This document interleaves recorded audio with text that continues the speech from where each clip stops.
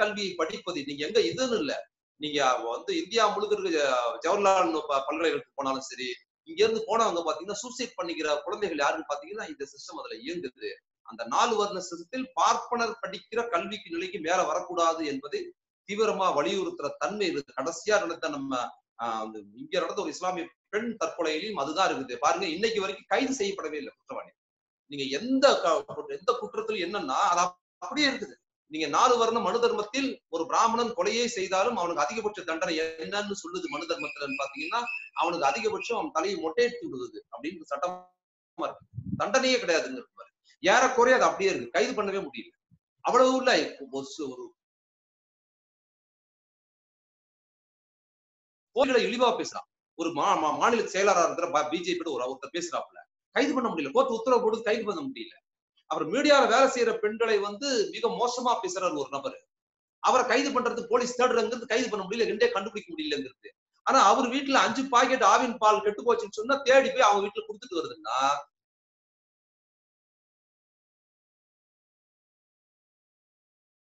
ஒரு அஞ்சு பாக்கெட் கெட்டு போச்சுன்னு அவர் போட்ட ட்விட்டுக்காக இந்த மாநில அரசு மெனக்கட்டு கொண்டு போய் தன் அரசு நிர்வாகத்தின் மூலமா அவர் வீட்டுல பால் பாக்கெட்டை கொடுத்துட்டு வருதுன்னா இது எப்படி அவரை கைது பண்ணிருக்கோங்கிறதுக்கு ஒருபோதும் போலீஸ் இவர் தேடியே இருக்காது என்பதற்கு இந்த பால் பாக்கெட்டை வீட்டுல சப்ளை பண்ணதுக்கு உதாரணம் நன்றி நன்றி தோழர் அப்புறம் தோழர் சொன்ன நம்ம பெட்ரோல் டீசல் விலை இது எல்லாமே வந்து எல்லாருக்கும் தெரிஞ்சதுதான் தோழர். இவங்க வந்து பிஜேபி பொதுவா பண்பாட்டு ரீதியாக பார்ப்பனை மேன்மையை நிறுத்திக்கிட்டாலும் இவர்கள் பொருளாதார ரீதியாக போடுகிற திட்டங்கள் இங்க இருக்கிற இந்துக்களாக இருக்கிற பெரும்பான்மை இந்துக்களுக்கே எதிராக இருக்குது. பிற்படுத்தப்பட்ட தாழ்த்தப்பட்ட இந்துக்களுக்கு எதிராக பெட்ரோல் விலை ஏறுது டீசல் விலை ஏறுது அப்படிங்கிறத அவங்க ரொம்ப காலமா பண்ணிக்கிட்டு இருக்காங்க இன்னைக்கு மைனஸ்ல வந்து crude oil போனதுக்கு பிற்பாடு கூட இவங்க குறை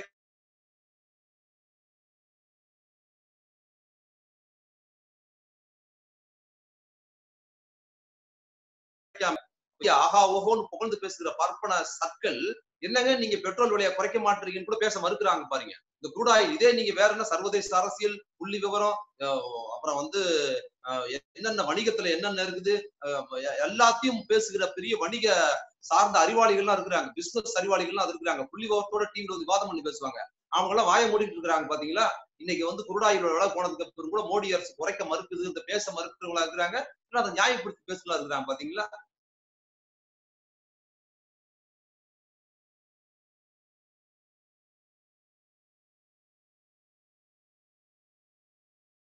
ஆறு தோழர் எங்களுடைய எங்களுடைய நேரம் என்பது ஏழு மணி வரை. ஆனா நீங்க எங்கள்கிட்ட. சொன்னது ஒரு மணி நேரம். சரி பரவாயில்ல போ தோழர்கள் காத்திருக்காங்க.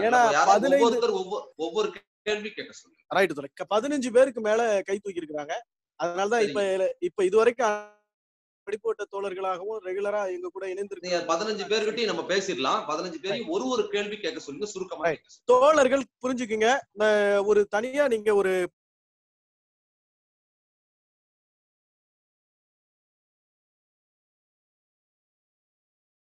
மொழி பேரு அதுதான் கொஞ்சம் ஆரோக்கியமா இருக்கும். நன்றி. அடுத்து தோழர் மதன் திருவள்ளுவர். ஆ தோழர் கேளுங்க. மதன் தோழர். நான் தோழ வணக்கம். நான் திருவள்ளூர் மாவட்டம் மதன் தோழ மதன் தோழர். எனக்கு என்னென்ன எனக்கு என்னென்ன தோழ அஹ் இப்போ வந்து நம்ம வந்து அதாவது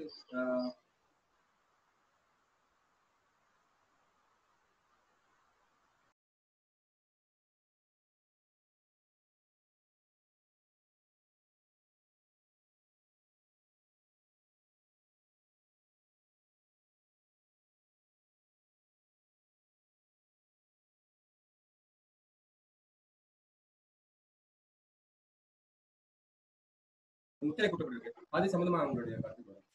அது வந்து நம்ம அமைப்பு வளர்ச்சியை வந்து கெடுக்கிற மாதிரி ஒரு ஒரு இதுவா நினைக்கிறாங்க. ஆனா தோழர் நீங்க கம்யூனிஸ்டுகள் கடவுள் மறுப்பு பேசுனது இல்ல தோழர். நீங்க இப்ப வந்து இங்க இருக்கிற சிபிஐ சிபிஎம் வந்து கடவுள் மறுப்பு அவங்க தீவிரமா பேசுறது இல்ல மாறாக கடவுள் மறுப்பை தீவிரமாக பேசிய இந்து மத எதிர்ப்பு பார்ப்பன எதிர்ப்பை பேசிய பெரியார் அம்பேத்கரோட அவங்க பயணிக்கவும் இல்லை. அந்த கருத்தோட அவங்க பயணிக்கவும் இல்லை.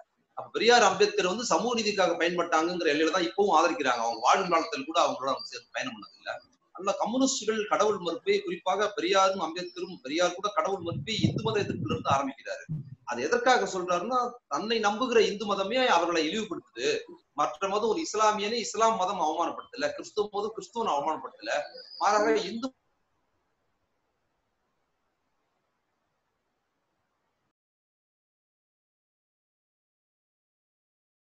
இந்து மதம் இருக்கு இருக்கிற சமூக அமைப்பில் அதுதான் இங்க பெரிய பிரச்சனையா இருக்குதுங்கிறதுனாலதான் பெரியாரும் அம்பேத்கரும் இந்து மதம் கடவுள் மறுப்பு கொடுத்து தீவிரமா பேசினாங்க. ஆனா அதோட வந்து கம்யூனிஸ்டுகள் பயணிக்கல தோழர் எனக்கு தெரிஞ்சவங்க பயணிக்கல. நான் நினைக்கிறேன் கம்யூனிஸ்ட் நீங்க சொல்றது பெரியார் அம்பேத்கர் அரசியல பேசுறவங்க தான் உண்மையான கம்யூனிஸ்ட் கண்ணோட்டத்துல நீங்க பேசுறீங்க. அப்படி இருந்தா உங்க கருத்தோட நான் சேர்ந்து பயணிக்கிறேன். அது மக்கள் மத்தியில நம்ம தெளிவுபடுத்தணும் தோழர். ஏன் நம்ம ஏன்னா பெரியார் வந்து பொதுக்கூட்டத்துல பேசும்போது கடவுள் மறுப்பு பேசுறாரு? எடுத்தடுப்புல பேச மாட்டாங்க ஆனா இன்னைக்கு சில பேர் பெரியார் கருத்துல பேசும்போது கடவுள் மறுப்பை மட்டும் பேசிட்டு வந்ததுனால அது என்ன பொதுமக்கள் சர்ச்சையாவது பொதுமக்களே நமக்கு எதிராக மாறுற மனோபாவத்துக்கு மாறுது. ஆனா ஐயா அதை செய்ய மாட்டாங்க ஏன்னா பொதுக்கூட்டங்கள்ல கலந்துக்கும் போது பல்வேறு தரப்பட்ட மக்கள் நமக்கு ஆதரவானவர்கள் எதிரானவர்கள் கலந்துட்டு அப்ப நம்ம பேச ஆரம்பிக்கும் போது எப்படி பேசணும்னா எடுத்த எடுப்பிலே பார்வையாளரை நம்ம எதிர்நிலையில நிப்பாட்டக்கூடாது. அது ரொம்ப முக்கியம். அப்ப எதிர்நிலையில நிப்பாட்டாத கூடாதுன்னா ஒரு கடவுளை மிக தீவிரமா விரும்புகிற நபர்களா கேட்டுக்கணும் இருந்த உடனே நீங்க கடவுளை எழுதி அவங்க கடவுளை கேலி செய்து பேசுனீங்கன்னா நமக்கு எதிர்நிலையில மாறிடுவாங்க நம்ம கருத்துவம் வரமாட்டாங்க. ஐயா செய்ய அப்ப எப்படின்னா இந்து மதத்துக்குள்ளார சாதி ரீதியாக நீ சூத்திரனாக இருக்கிற நீ தீண்டப்படாதவனா நடத்தப்படுற ஓ மதத்துக்குள்ளார இப்படி ரோல் வச்சிருக்கிறான் பார்ப்பனரை பார்த்தா இவ்வளவு செல்வாக்கா இருக்கிறான்னு சொன்ன உடனே பார்வையாளர் இருக்கிற புதுசெல்லாம் ஆமா இல்ல அப்படின்னு நெருக்கி வந்ததுக்கு பிற்பாடு ஐயா என்ன பண்ணுவாரு? அதுக்கப்புறம் கடவுள் நான் பேசுகிற பொதுக்கூட்டங்கள் எவ்வளவோ பெரிய எதிர்ப்பு சங்கி வங்கி எல்லாம் வந்து எனக்கு எதிராக இருக்கும்போது கூட இந்த அணுகுமுறை தான் கையாளுறேன். ஆனா இந்த அணுகுமுறையை கையாண்டால் மக்கள் நமக்கு எதிராக போகவே மாட்டாங்க நமக்கு ஆதரவாகத்தான் இருப்பார்கள். அப்போ மக்கள் பாதிக்கப்படுற மக்கள் நீங்க பாதிக்கப்படுறீங்க இந்த சிஸ்டத்தால் என்பதை புரிய வைத்துட்டு அதற்கு பின்னால் அதற்கு காரணமே உங்க கடவுள் தான் என்பதை நீங்க லாஜிக்கலா வாழ்வியலோடு பொருத்தி மக்கள் மத்தியில பேசுனீங்கன்னா மக்கள் நமக்கு ஆதரவா தான் இருப்பாங்க. எதிரா போக மாட்டாங்க. மாறா மக்களை போல் கைவருங்கிற மாதிரி உள்ள எவனா சங்கி மங்கி இருந்து கல்லு விட்டுறிஞ்சாங்கன்னா அது வேற. நன்றி. நன்றி நன்றி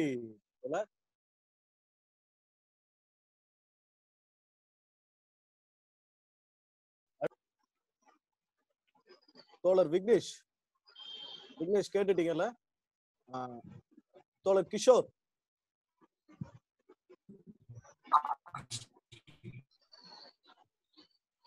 தோழர் கிஷோர் உங்களுடைய வீடியோ அன்மியூட் பண்ணுங்க ஹலோ. ஹலோ மதிமாறன் அண்ணா வணக்கம். என் பேர்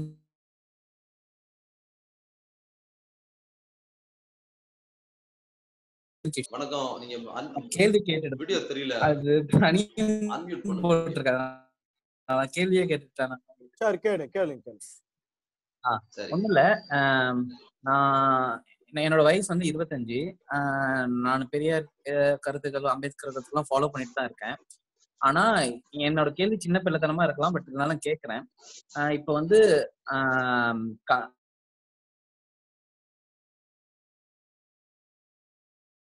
எப்ப எப்பவுமே இப்ப ரீசெண்ட் ஒரு லாஸ்ட் இயர் முன்னாடி இயர் கூட இருந்தாங்க பெரியார் அவார்டு வந்து கொடுத்துருந்தாங்க அவருக்கு. ஆனா கமல் வந்து பல வருஷமா வந்து திராவிடம் அந்த மாதிரி கருத்துக்கள் சிலது பேசுறாரு. அப்படி பேசி இருந்தாலும் இப்ப கூட பிஜேபி அகைன்ஸ்டா ஒரு லெட்டரும் எழுதியிருக்காரு. இந்த மாதிரி விஷயம் பண்றாரு. ஆனா எப்பவுமே அவரை வந்து திராவிட அவரை சேர்த்துக்கிட்டதா நான் பா- எங்கேயுமே பார்க்கல. அவரு உள்ள எப்பயுமே சேர்த்துக்கிட்டதில்ல. அது என்ன காரணம்ன்றது எனக்கு புரிஞ்சுக்க முடியல. சரிங்க. அவ்வளவுதானே? அவ்வளவுதான் அவ்வளவுதான். நீங்க அன்மியூட் பண்ணி மியூட் பண்ணிக்க சத்தமா. இருக்கு. நான் மியூட் இல்ல பண்ணிட்டேன் திராவிட நான் mute கழகம் ஆ ரைட் ஓகே, நல்லது நல்லது. இல்ல கமல் பற்றியான உங்க புரிதல் வந்து ரொம்ப மேலோட்டமா இருக்கு. நான் கமல் குறித்து ரொம்ப விரிவா கமலோட இந்த கண்ணோட்டம் பகுத்தறிவு என்பது அது உண்மையானது இல்லை அவர் வந்து வைணவ மேன்மை ஐயங்கார் பெருமையெல்லாம் தன் படத்துல பேசியிருக்காரு நான் பல உதாரணங்களோட சொல்லியிருக்கிறேன். நீங்க வந்து நீங்க மைக்கேல் மதன காமராஜன் ஒரு படம். அந்த மைக்கேல் மதன காமராஜன்ல பார்த்தீங்கன்னா ஒரு பணக்கார வீட்டு குழந்தை நாலு குழந்தைகள் இருக்கும். அந்த நாலு குழந்தைகள் எங்கெங்கயோ போயிடும் ஒவ்வொருத்தர் ஒவ்வொரு இடத்துல எடுத்து- எடுத்து வளர்ப்பாங்க. யார் யார் வீட்லயும் எடுத்து வளர்ப்பாங்க. அப்படி நல்லா பாத்தீங்கன்னா அதுல ரெண்டு குழந்தை. ஒரு குழந்தை பாத்தீங்கன்னா ஒரு ஐயர் வீட்டுல வளரும் அந்த ஐயர் வீட்டுல வளர்ற அந்த குழந்தை காமேஸ்வரன் அந்த அந்த குழந்தை வளர்ந்து ஒரு கமலா வரும்போது பாத்தீங்கன்னா அது ஒரு இன்னசென்டா அப்பாவியா இருக்கும். ஒண்ணும் தெரியாத வெகுளியா இருக்கும். காமேஸ்வரன்ங்கிற ஐயர் வீட்டுல வளர்ற குழந்தை. அதே சமயத்தில் அதே படத்துல பாத்தீங்கன்னா மைக்கேல்னு ஒருத்தன் வருவான் அந்த குழந்தை. அது யாருன்னா ஒரு கிறிஸ்துவர் எடுத்து வளர்க்குற குழந்தையா இருக்கும். அந்த கிறிஸ்துவர் பாத்தீங்கன்னா அவங்க காட்டுற அடையாளங்களும் ஒரு தலித் கிறிஸ்துவர் மாதிரி காட்டுறது. அவரால் வளர்க்கப்படுற குழந்தை பாத்தீங்கன்னா திருடனா வருவாங்க அப்போ இது போல் நுட்பமான கேட்டகரிஸ கமல் பல படங்கள்ல வச்சிருக்கிறாரு.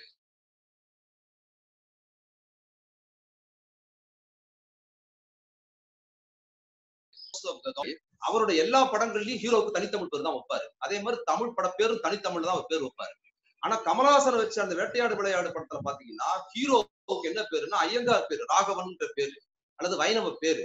வில்லனுங்களுக்கு என்ன பேர் தெரியுமா? எல்லாமே தனித்தமிழ்.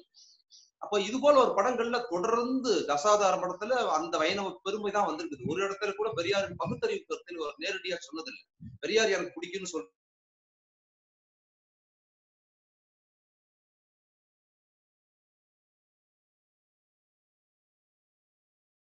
கிடையாது. உயர்வாக காட்டுகிற மாதிரி நீங்க தேவர் மகன்ங்கிற படம் காமிச்சும் போது கூட பாத்தீங்கன்னா ஒரு ஹேராம்ல ஐயங்கார் குடும்பத்தை காமிச்ச சிலாகிப்பு தன்மை தேவர் மகன்ல பாத்தீங்கன்னா அப்படி இருக்காது. தேவர் மகன்ல அவங்க ரவுடித்தனம் பண்றது சண்டை போட்டுக்கிறது இப்படிதான் அதை காட்டிருப்பாரு அப்ப அவர்கிட்ட இயல்பாவே அந்த கண்ணோட்டம் பார்ப்பனை மேன்மை கண்ணோட்டம் இருக்குதுங்கிறத நீங்க மீள் பார்வை செய்து பாருங்க. ஆனா திராவிடர் கழகம் வந்து கமலஹாசனை இந்த கண்ணோட்டத்துல அவங்க எதிர்நிலையில நிப்பாட்டல. அவர் விருது கொடுத்தாங்களா கொடுக்கலையான்னு எனக்கு தெரியாது. ஆனா பல நிகழ்ச்சிகள்ல திடல்ல கமல்ஹாசன் கூப்பிட்டு பேச வச்சிருக்கிறாங்க. ஆசிரியர் அவர் புகழ்ந்து பேசியிருக்கிறாரு. சமீப காலமானது பிஜேபி வந்ததுக்கு பிற்பாடு அவரோட நிலைப்பாட்டு காரணமா தான் ஆசிரியர் இப்போ வந்து அவர் பத்தி விமர்சனம் பண்ணி பேசியிருக்கிறாரு. மற்றபடி பிஜேபி எதிர்ப்புங்கிறது நீங்க எல்லாம் சொல்லுற மாதிரி இருக்கிறதே தவிர அவர் நேரடியான பிஜேபி எதிர்ப்பு கராரா அவர் பேசினது இல்ல அதுவும் இப்ப சமீபமா கடந்த மூன்று ஆண்டுகளா நாங்கெல்லாம் நெருக்கடி கொடுத்ததுக்கு பிற்பாடு இப்ப அது போல் பேச வேண்டிய ஒரு நிர்பந்தத்துக்கு பேசுறாரே தவிர அவர் அதுல உண்மை இல்லைங்கிறதான் நிஜம். நன்றி நன்றி அடுத்து தோழர் பகுத்தறிவு. சிங்கப்பூரா? வணக்கம் தோழர். இல்ல நான் புதுச்சேரியில இருக்கேன். வணக்கம் தோழர் வணக்கம். தோழர் உங்க வீடியோ தெரியல. ஓகே இப்போ ஆன் பண்ணியிருக்கேன். ஆ மகிழ்ச்சி தோழர் ஸோ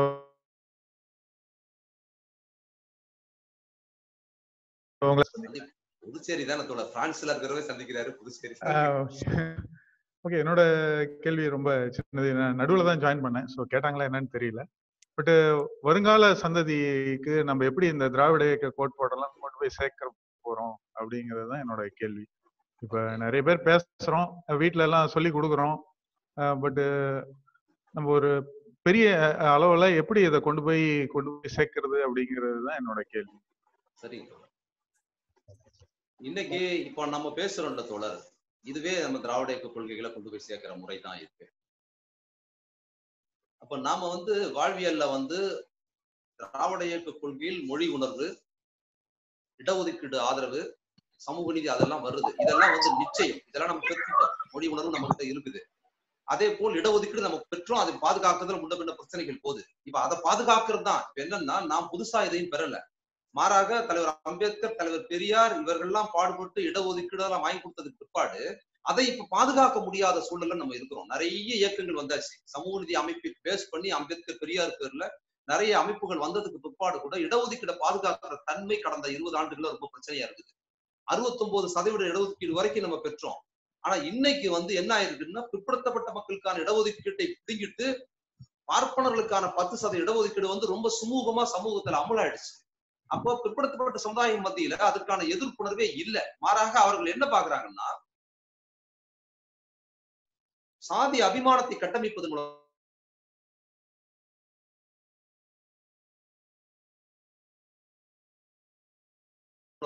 கட்டமைச்சு இடஒதுக்கீடு படிநிலை என்னன்னா பார்ப்பனர்களுக்கு ஏன் இடஒதுக்கீடு இல்லைன்னா அவர்கள் எல்லாரும் டாமினேட் பண்றாங்க. இட இடஒதுக்கீடு வந்து வெறும் எண்ணிக்கை அடிப்படையில் கிடையாது. சமூக நீதி என்பது சமூக அமு சமூக அடிப்படையில். அப்ப என்ன பண்றாங்க? பார்ப்பனர்கள் ஏன் இடஒதுக்கீடு இல்லாத சமூகமா ஆக்குறாங்கன்னா அவங்க டாமினேட் பண்றாங்க. அப்படிங்கிறது பொருளாதாரத்தில் பின்தங்கி இருக்கிறாங்க உயர்ந்து இருக்கிறாங்க கிடையாது. பொருளாதாரத்தில்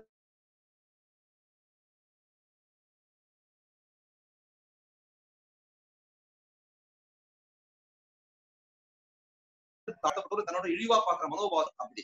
அவர் தாழ்த்தப்பட்டவர் அப்படிங்கிறது எதுக்காக சொல்லப்பட்டதுன்னா பார்ப்பனராலும் பிற்படுத்தப்பட்டவராலும் தாழ்த்தப்பட்டவர் தான் இடஒதுக்கீடு பாதுகாக்கும்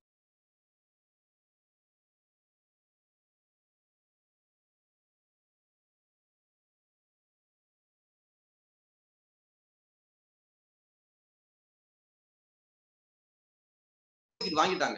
பிரச்சனை என்ன தெரியுமா? பிஜேபி வந்ததுக்கு இடம்ங்கிற மனோபாவத்தை கட்டமைக்கிற பார்ப்பனையும் ரொம்ப மோசமா சமூகத்தில் விளைவிக்குது. அதே போல இன்னொரு பக்கத்துல முற்போக்காளர்கள் தாழ்த்தப்பட்டவர்னு சொல்லாதீங்க தலித்துன்னு சொல்லாதீங்க அப்படின்னு ரொம்ப தீவிரமா பெரியார் இயக்கம் அல்லது வந்து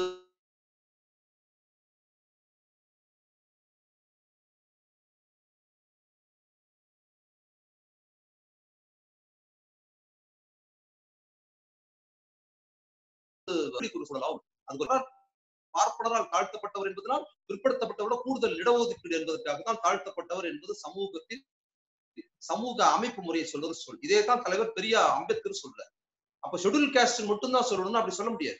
அப்ப சமூக ரீதியாக சொல்லும் போது அம்பேத்கர் எப்படி பயன்படுத்துறாருன்னா அவர் இதை விட கடுமையான வார்த்தை ஒடுக்குமுறையின் நேர- நேரடியான வார்த்தை பயன்படுத்துறாரு.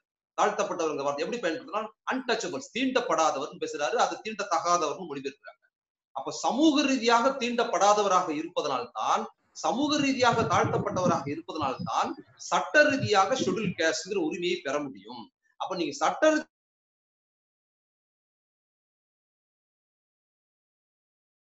ரீதியான ஷெடியூல் கேஸ்ட் மட்டும் சொல்லுங்க. சமூக ரீதியாக நடத்தப்படுகிறவர்னு சொல்லாதீங்கன்னு சொன்னா ஒருத்தி நீங்க பார்க்கணும்னா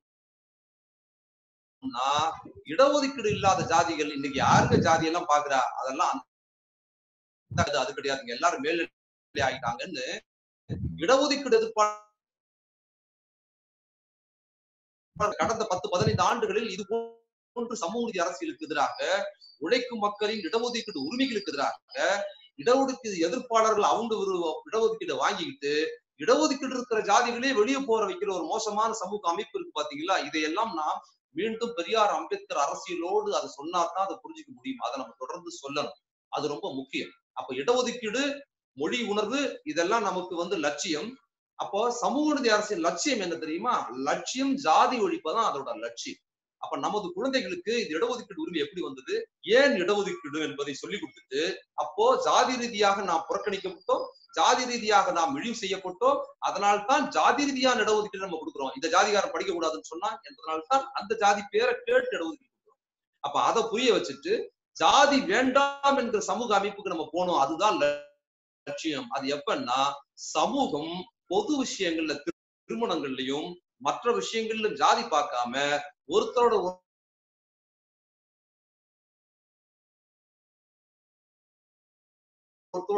சொல்லிக் கொடுக்கணும். அப்போ ஜாதி என்பது இல்லை. இல்லாத ஜாதியின் மூலமாக நம்ம இழிவுபடுத்தப்படுறோம்ங்கிறத குழந்தைக்கு சொன்னீங்கன்னா அது இடஒதுக்கீடையும் ரைட்ஸ் இருக்கும் ஜாதி ஒழிப்பு பயணத்துக்கும்.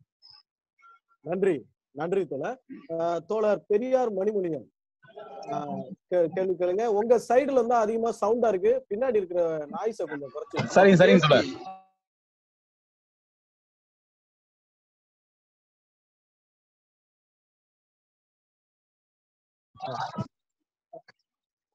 தொடர் இப்போ நம்ம தனித்தமிழ்நாடு கோரிக்கை வந்து பெரியாருக்கு முன்னாடியே தமிழரசன் வச்சாருங்களா? இல்ல தமிழரசனுக்கு முன்னாடியே பெரியார் வச்சாரான்னு தெரியல. அது கொஞ்சம் தெரிஞ்சுக்கணும். இன்னொன்னு தமிழ் தேசியவாதிகள் யாருமே தமிழரசனை பத்தி எப்பவுமே பேச மாட்டேன்றாங்க. ஒரு மேடையில கூட பேச முன் வர மாட்டேன்றாங்க. அது ஏன்னு தெரியல.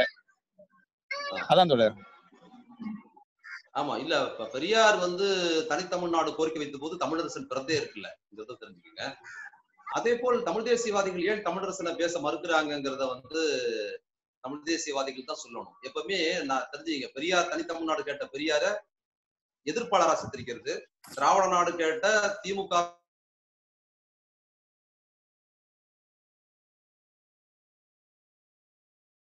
கேட்டார் கேட்டாரு.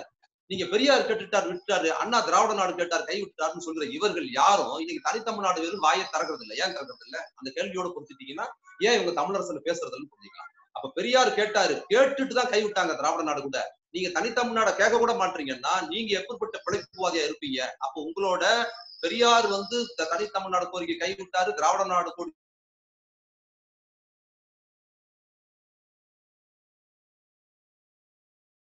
எப்படிய மேன்மையில் பின்னால் இருந்தீங்க மாறாக தனித்தமிழ்நாடு கோரிக்கை நீங்க மறைமுகமா கூட நீங்க கேட்க வருவதற்கு காரணம் என்னன்னா இன்னைக்கு இருக்கிற அரசியல் சட்டம் அந்த விஷயங்கள இன்னைக்கு இருக்கிற அரசு உங்களை கொண்டு போய் ஜெயில வச்சு பிரச்சனைக்கு வந்துருங்கிறதுனால ரொம்ப சேஃபா இருந்துகிட்டு ஏற்கனவே கேட்டவங்களை நீங்க கொஸ்டின் பண்ணுவது என்பதுன்னா உங்களோட நோக்கம் தனித்தமிழ்நாடு அது சார்ந்த விஷயங்கள்லாம் கிடையாது.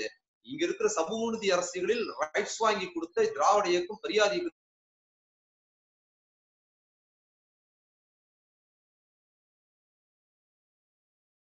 தனித்தமிழ்நாடு கோருகிறார்கள் திராவிட நாடு கோரிக்கை வச்ச திராவிட முன்னேற்ற கழகத்தை இவங்க இழிவா பேசுறாங்கிறத நம்ம விவாதத்துக்கு உண்மையை கூட ஒத்துப்போம். நீ ஏன் தனித்தமிழ்நாடு கோரிக்கை இன்னைக்கு கேட்க மாட்டீங்கிற ஒரு கேள்வியின் மூலமாகவே இவர்கள் பொய்யான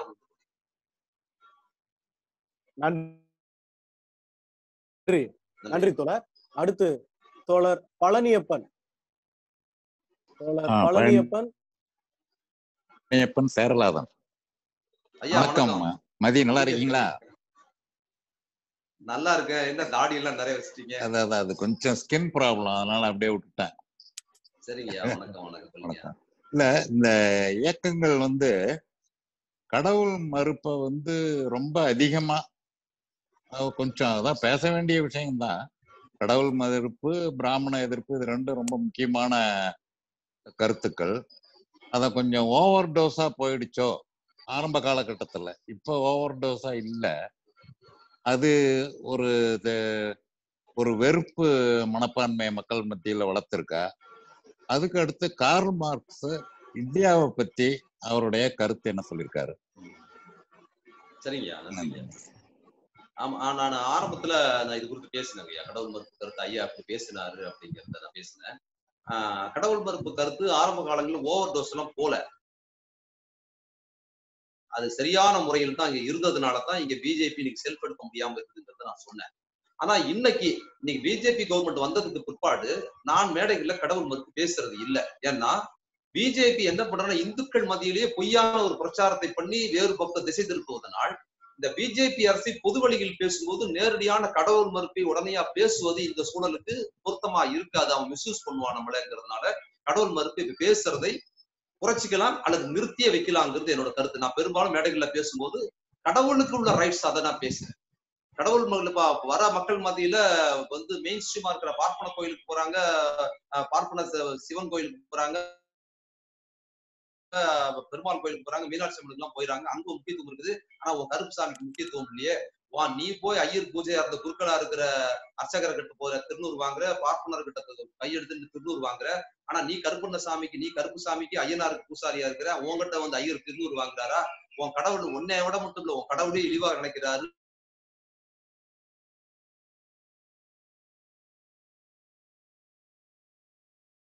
பேசுறேன் இன்னொன்னு நீங்க காரல் மார்க்ஸ் பற்றி இந்தியா பற்றி பேசுனதா சொல்லியிருக்கீங்க இந்தியா பற்றி அவர் சொல்லியிருக்கிறாரு சிலதுல அவர் லண்டன் மியூசியத்துல இருந்து லண்டன் லைப்ரரியில இருந்து அவர் படித்த இந்தியா பற்றி குறிப்புகள் வச்சு சொல்றாரு. சிலதுல ரொம்ப துல்லியமா சொல்றாரு. சில சாதி அமைப்பு முறைகள்ல ஒண்ணு முன்ன பின்ன இருக்குது. அப்ப இந்தியாவை பற்றி சொன்னதுல அவர் முக்கியமான விஷயமா என்ன சொல்றாரு அப்படின்னு பாத்தீங்கன்னா நான் புரிஞ்சுக்கிட்டது சாதி அமைப்பு முறையில ஒரு முக்கிய விஷயம் சொல்றாரு. இந்தியாவில் ஒரே வர்க்க நிலை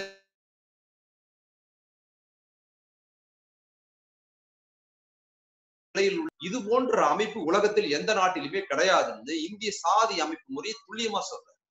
ஆனா அது இன்னும் துல்லியமா வந்து பாத்தீங்கன்னா ஒரே மாதிரியான வர்க்க அமைப்பு முறை மட்டுமல்ல ஒரே மாதிரியான வாழ்வியல்ல வந்து ஓரளவு வசதியா வசதியான வர்க்க நிலையில் உயர்ந்தவரை வர்க்க நிலையில் தாழ்ந்து இருக்கிறவரை இழிவா கருதுற மனோபாவம்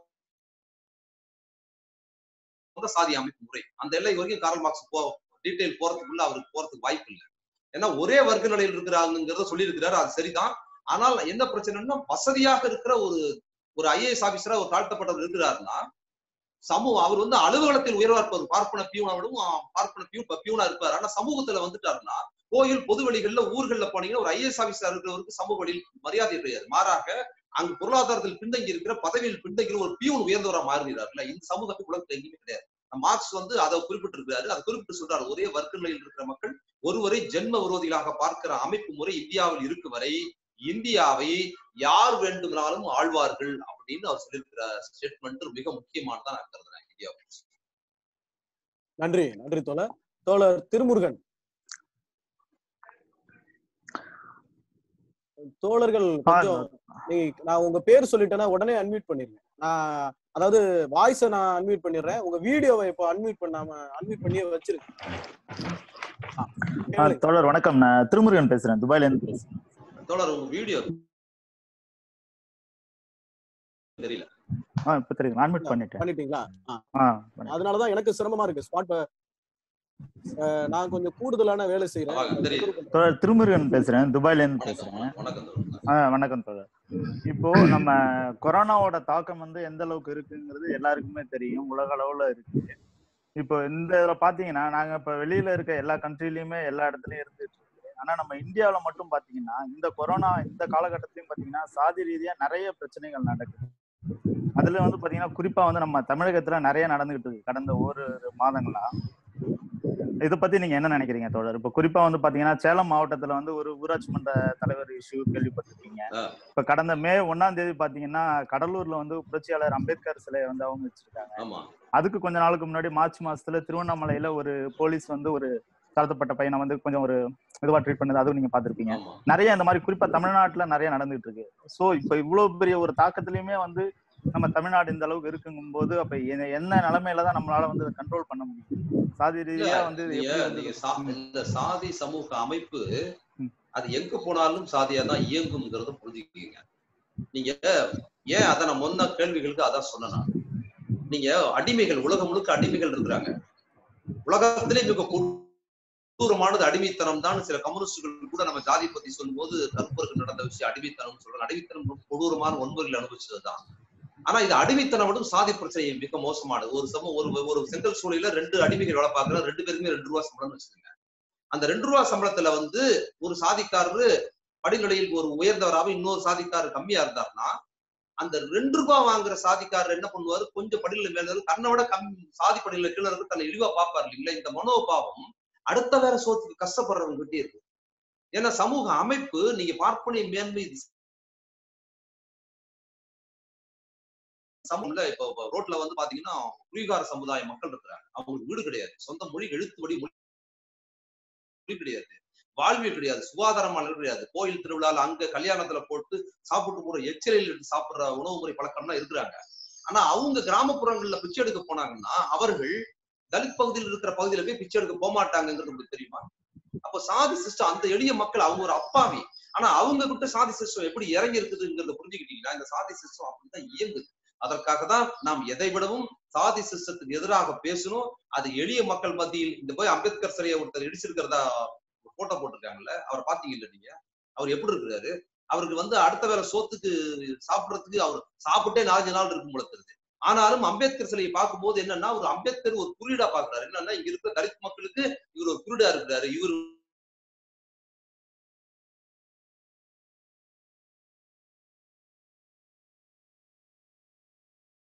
வந்து சாப்பிடுறான் எனக்கு சாப்பாடு அம்பேத்கர் தலைவர் அம்பேத்கர் என்பது என்ன குறியீடா இருக்கிறாருன்னா அவர் தனியா தலைவரா பாக்குறது இல்ல சாதி மத்தியில.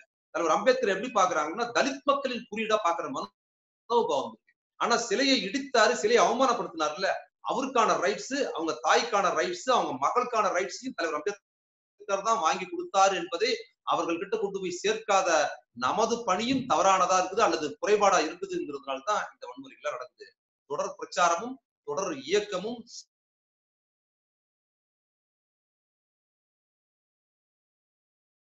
சாதி காலம் நடக்கும். ஏன் கொஞ்ச நாளைக்கு முன்னால வந்து ஒரு இடத்துல வெள்ளம் இது புயல் வந்தது இல்ல புயல் பாதிக்கப்பட்ட புதுக்கோட்டை மாவட்டத்துல அங்க உணவுக்கு எல்லாம் ஒதுங்கி நிற்கும் போது அங்க எஸ்சி எஸ்டிக்கு தனிப்பிரிவு இது. சாதி அமைப்பு எங்க போனாலும் தன் தேவைகள் பூர்த்தியான அடுத்த கட்டத்துல அது முதல்ல முடிக்கிறது எது ஆகும்னா சாதியா தான் முடிக்கிறது நன்றி. நன்றி.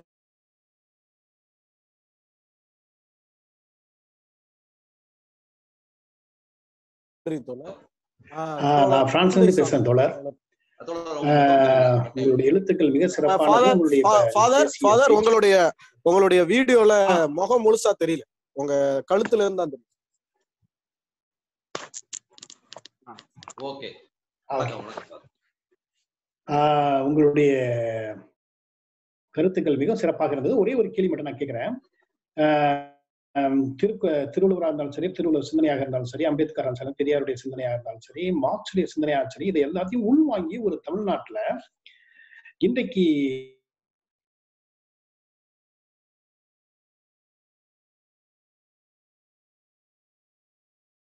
பார்ப்பனியமும் அந்த வகுப்புவாதமும் மிக ச- வேகமாக எதிர்கொள்வது. இந்த சித்தாந்தங்களை இந்த என்னது எந்த அளவுக்கு இதை வந்து எதிர்கொள்வது? ஏன்னா நம்ம சொல்லிட்டே இருக்கலாம் என்ன பெரியார் பிறந்த மண் பெரியார் பிறந்த மண் சொல்லிட்டு இருக்கலாம்.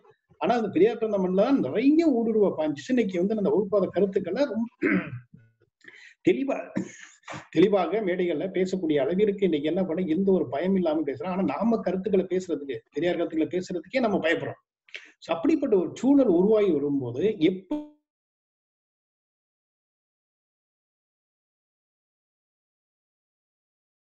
எப்படி நாம இந்த சூழலை தமிழகத்துல எதிர்கொள்வது?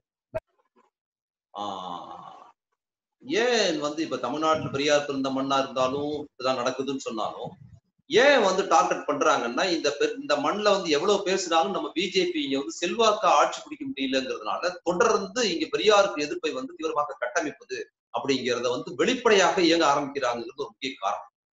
அப்ப நம்ம ஏன் அவங்களை எதிர்கொண்டு பேச முடியலன்னா பேசுறவங்களுக்கு அவங்க என்ன பண்றாங்கன்னா மத்திய அரசு மாநில அரசு ரெண்டுமே நமக்கு எதிரான நிலைப்பாட்டில் அப்ப என்ன ஆகுதுன்னா மத்திய அரசு மாநில அரசு மட்டுமல்ல செல்வாக்கு பெற்றவர்களாக கூலிப்படைகளை ஏவி அடிக்கிறவர்களாகவும் அவர்கள் இருக்கிறாங்க. நம்ம ஜனநாயக சக்தியோட இயங்குகிறோங்கிறதுனால இந்த முரண்பாடுகள் அதோட சேர்ந்து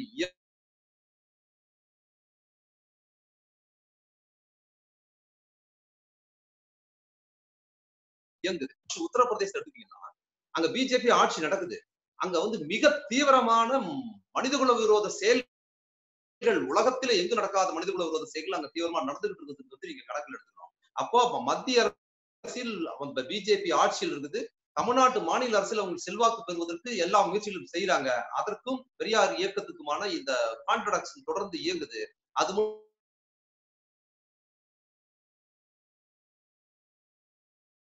மட்டுமல்ல பெரியாரும் பெரியார் இதையும் எதிர்கொள்ள வேண்டியிருக்கு அதையும் எதிர்கொள்ள வேண்டியிருக்குன்னு. ஒரே சமயத்தில் பல டைமென்ஷன்ல இருக்கிற எதிரிகளை எதிர்கொள்வதுங்கிறது வந்து ஒரு பிரச்சனைக்குரியதா இயங்குது. அதனாலதான் பேசுவதில் வேகம் குறைவா இருக்கிறது. இந்த பக்கம் வந்து எதிராளிகளை கையாளுகிற வார்த்தையோடவே இங்க தோழமையா இருக்கிறவங்க சொல்ற விஷயத்த நம்ம பார்க்க முடியாது. இந்த பக்கத்துல பெரியார் ஒரு மோசடி பெருவழி அவர் இந்து மதத்துக்கு எதிரானவர் அவர் ஒரு சூத்திரன் இழிவா பேசிட்டு இருக்கும் போது இந்த பக்கத்துல வந்து பெரியார் ஒரு தமிழின விரோதி அவர் தமிழ் தேசிய விரோதி பெரியார் ஒரு தலித் விரோதி அவர் சூத்திரன்கிற குரல் ஒரு-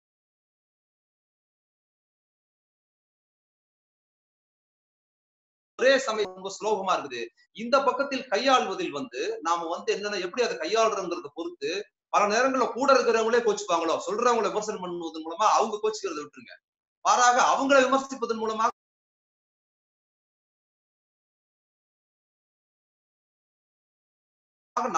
நன்றி நன்றி தொடர் அடுத்து தோழர். வணக்கம் தோழர். ஆ, வணக்கம் தோழர். அஹ், சென்னையில இருந்து பிரபு தோழர். தோழர் ஆசி ஆசீர்வாதம் குறித்து உங்களோட கருத்து என்ன தோழர்? ஆசீர்வாதம். ஆமா தோழர் ஐயனார் ஐயனார் வழிபாடு பத்தி. தோழர் அது இன்றைய சமூக அமைப்பில் பிஜேபி பௌத்தமே பௌத்தம் நீங்க ஆசீர்வாகம் அதெல்லாம் முன் சமூகமா இருந்திருந்தாலும் பார்ப்பனியத்தை எதிர்ப்புக்கு என்ன செய்யறது அப்படிங்கிறது ரொம்ப முக்கியமானது. இன்னைக்கு பௌத்தமே பௌத்தம் மட்டும்தான் ஏன் அம்பேத்கர் பௌத்தத்தை ப்ரொமோட் பண்ணார்? ஏன் பெரியார் வந்து ஆல்டர்னேட்டிவா வந்து மத மாற்றத்துல ஆசிவாகமோ தமிழர் மதமோ எதையோ சொல்லல அப்படிங்கிறதுனா?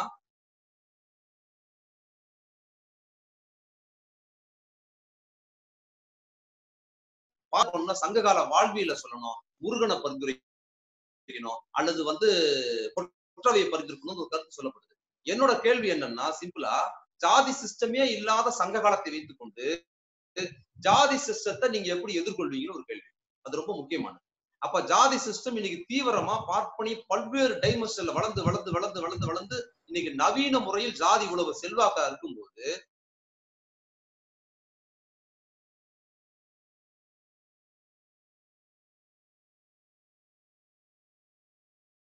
ஜாதியை வீழ்த்துவதற்கு எந்த திட்டமும் இல்லாத சங்க காலத்திலேயோ அதுல இல்ல அப்படிங்கிறதுனால நான் அதுல பெருசா அக்கறை எடுத்துக்கல. நான் மட்டும் மட்டுமல்ல தலைவர் பெரியார் தலைவர் அம்பேத்கர் போன்றவர்கள் அவர்களுக்கு முன்னால இருந்த அல்லது வேத காலம் அதுக்கு முன்னால இருந்த எந்த மதங்களையும் கணக்கில் எடுக்கல.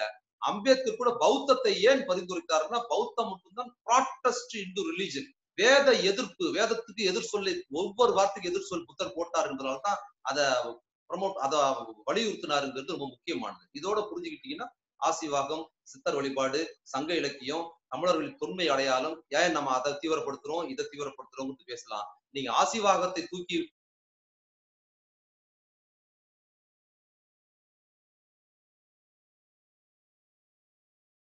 வச்சுக்கிட்டீங்கன்னா அதுவும் நீங்க நன்றி நன்றி தோழர். அடுத்து தோழர் உங்க நேம் வரல ரெட்மின்னு கேளுங்க.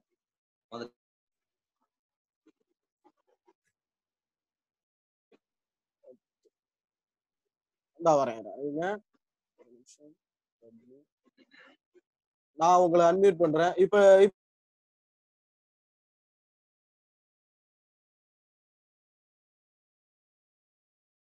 இப்ப ஆ, இப்ப பேசுங்க மீட்ல ஆ, தான் பேசுங்க ஐயா வீடியோ வரலீங்க. வணக்கம். தோழர். நான் மதுரையில இருந்து பேசுறேன். வணக்கங்க. செல்வம் திராவிடர் கழகத்தினுடைய அமைப்பு செயலாளர். வணக்கம் வணக்கங்க. நலமா இருக்கீங்களா நலமா இருக்கு நலமா வணக்கம் நேரம் வந்திருக்கேன் சந்திச்சிருக்கேன். பார்த்துருக்கேன் உங்களோட கூட்டத்துல கலந்துருக்கேன். மகிழ்ச்சி கிராமத்துல திருமங்கலம் தாண்டி ஆமா ஆமா உள்ள ஆமா. வந்தோம். சவாலான.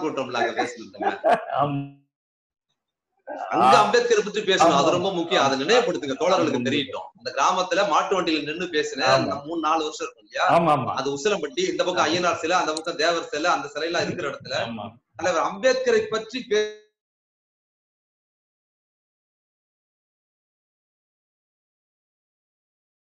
பேசுனதுல எனக்கு மாபெரும் பெருமை நான் நினைக்கிறேன் நான் ஒருத்தன் தான் இயக்க அதுல இன்னொரு சிறப்பு. இன்னொரு சிறப்பு. அங்க வந்து பெரும்பான்மை வந்து தேவர் சமுதாய கல்லர் சமுதாய மக்கள் தான் ஆமா கேட்டாங்க. தலைவர் அம்பேத்கரின் சிறப்பையும் ஜாதி ஒழிப்பு பேசுறதுக்கு பிற்பாடு அந்த மக்கள் வந்து. கை கொடுத்து என்னோட போட்டோ ரொம்ப எடுத்துட்டாங்கிறது ரொம்ப மகிழ்ச்சி வந்து. இந்தியாவை பொறுத்த அளவுல பிஜேபி காங்கிரஸ் இரண்டு கட்சியை பொறுத்தளவு நம்ம வழக்கமா சொல்றது இவங்கள்ட்ட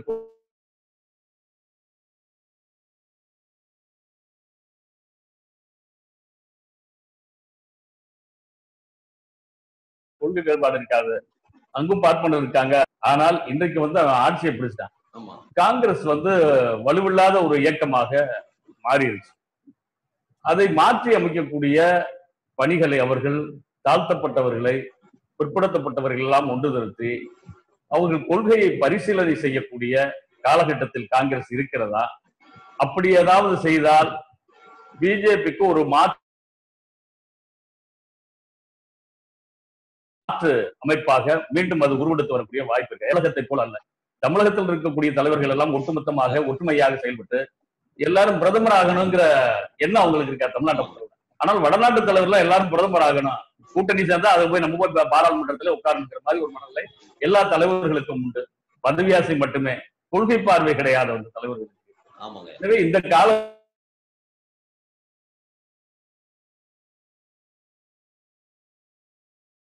காலகட்டத்திலே காங்கிரசுடைய நிலைப்பாடு அது எதுவும் அவரை விட்டு அவர் வழி இல்லைங்கிற நிலைமையில தான் நம்ம வந்து செய்ய வேண்டிய காலகட்டத்தில் இருக்கிறோம். சரி. என்ன செய்யறது இந்த சூழ்நிலை?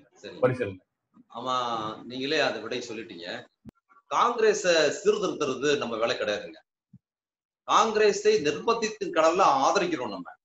காங்கிரஸை நான் நான் வந்து ஒரு மேடையில வந்து பேசின சென்ட் ஜோசப்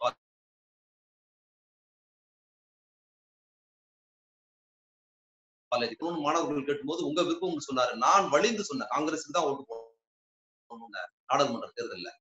ஏன்னா யாருக்காவது ஓட்டு போடுங்கன்னு சொல்ற சாய்ஸ் கூட அது என்னன்னா பிஜேபிக்கு ஆதரவா மாறிடும். நீங்க உங்களுக்கு விருப்பம். காங்கிரஸ் அல்லாத வேற யாருக்கு ஓட்டு போட்டாலும் அது பிஜேபிக்கு போற ஓட்டா தான் மாறும்ன்றதுனால ரொம்ப துல்லியமா காங்கிரஸுக்கு தான் போடணும். இப்ப ராகுல் காந்தி தான் பிரதமராக வரணும்னு நான் பேசினேன்னா காங்கிரஸோட கொள்கைக்காக நான் அதை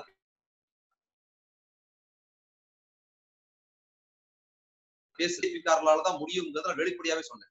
அப்ப காங்கிரஸை ஆதரிக்க வேண்டிய நிர்பந்தத்தை நமக்கு உண்டாக்குனது பிஜேபி தானே தவிர காங்கிரஸின் கொள்கை நம்ம ஆதரிக்கலங்கிறத நான் தெளிவா சொல்ல அப்ப அந்த அந்த பிஜேபி எதிர்ப்புங்கிற அந்த ஒற்றை கொள்கைக்காக தான் காங்கிரஸ் நம்ம ஆதரிச்சோம் பிஜேபி நம்ம புறக்கணிச்சோம். மாறாக காங்கிரஸுக்குள்ளார சீர்திருத்தம் பண்ணும் அதெல்லாம் பண்ணணும்னா காந்தியாலே பண்ண முடியல. ஏன்னா காந்தியே அப்படி இல்ல.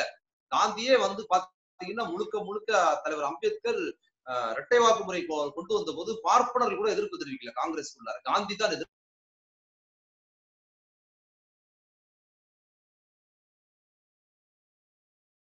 அப்படிதான் அரசு இல்ல காங்கிரஸ் அரசு தான் இருந்தது. இதெல்லாம்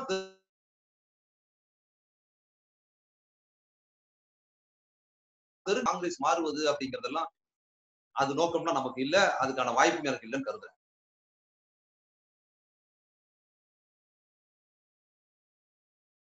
தன் கூட்டணியை ராகுல் காந்தியோட தேர்தல் சமயத்துல ஒரு பேச்சு வந்து மற்ற காங்கிரஸ்காரர்கிட்ட கொஞ்சம் வித்தியாசப்பட்டிருந்தது. மிக சிறப்பாகவும் இருந்ததா நான் கருதுறேன். குறிப்பா ஆர் எஸ் டார்கெட் பண்ணி காங்கிரஸ்க்குள்ளார ராகுல் காந்தி மட்டும்தான் பேசினார். வேற யாரும் பேசல. அவரே வெளிப்படையா சொன்னாரு. நம்ம மாநில சிதம்பரம் உட்பட அவரு சேர்த்து சொன்ன மாதிரி சொன்னாரு. நம்ம மூத்த தலைவர்கள் வந்து ஆர்எஸ்எஸ் விமர்சிக்கிறதுல என்னை தனிமைப்படுத்துறாங்கன்னு வெளிப்படையாவே ராகுல் காந்தி சொன்னாருங்கிறது ரொம்ப முக்கியமானது. அப்ப அவர்கள் வந்து பார்ப்பனை மேன்மைக்கு எதிராக இருப்பார்கள் அல்லது வந்து இந்து மத இதுல சாதி கட்டமைப்பு எதிர்ப்பா இருப்பார்கள் என்பதற்கெல்லாம் வாய்ப்பு கிடையாது. இடஒதுக்கீடை பாதுகாக்கணும்னு சொல்லிக்கிட்டு இருந்த நேரங்களில் பிஜேபி கொண்டு வந்த பத்து சதவீத பார்ப்பனருக்கான இடஒதுக்கீடுக்கு எந்த எதிர்ப்பும் இல்லாமல் ஓட்டு போட்டது காங்கிரசும் கம்யூனிஸ்டுகளும்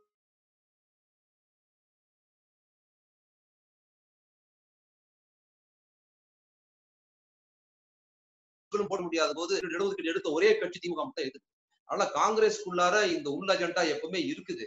அது என்ன நான் பாக்குறேன்னா அது ஒரு காலத்தில் காங்கிரஸுக்கும் பிஜேபிக்குமான வித்தியாசம் எப்படி பாருன்னா சுதந்திர போராட்ட காலத்தில் தீவிரவாதம் மிதவாதம் ரெண்டு அமைப்பு இருந்தது இல்ல அந்த மிதவாதம் தீவிரவாதம்ங்கிறது எப்படி பார்த்தோம்னா இந்து பார்ப்பனிய கருத்தில் மிதவாதமும் இந்து பார்ப்பனிய கருத்தில் தீவிரவாதம்ங்கிறது தான் காங்கிரஸ்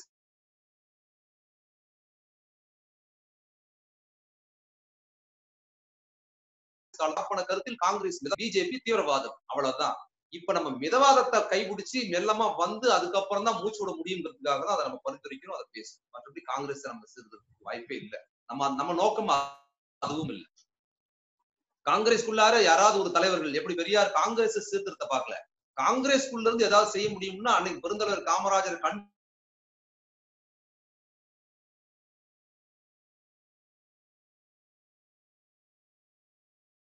நேரம் வந்து ஆறு நாற்பத்தி நாலு நீங்க ஏறக்குறைய ஒண்ணே முக்கால் மணி நேரம் ஒரே இடத்துல எனக்கு ஒண்ணும் நாங்க எத்தனை பேர் இருக்காங்க.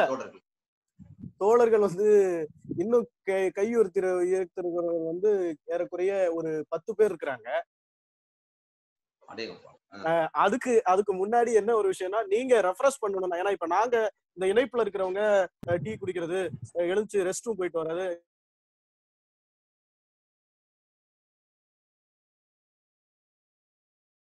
இதெல்லாம் கொஞ்சம் பண்ணிப்பாங்க. நாங்க பண்ணிப்போம். நீங்க உங்களுக்கு பிரச்சனை இல்ல. மேடையில இல்ல இருந்தாலும் சொல்ல வேண்டியதும் கேட்க வேண்டியதும் என்னுடைய கடமை. எனக்கு நேரம். நம்ம ஒரு மணி நேரம் ஆமா. அதுதான். அதுதான்.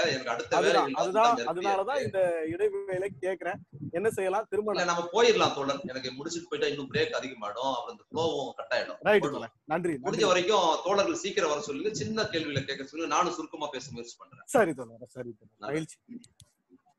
அடுத்து தோழர் galaxy A three zero S அப்படின்னு இருக்கு அவரு உங்க வீடியோவை அன்மியூட் பண்ணுங்க. உங்க ஆடியோவை நான் அன்மியூட் பண்றேன்.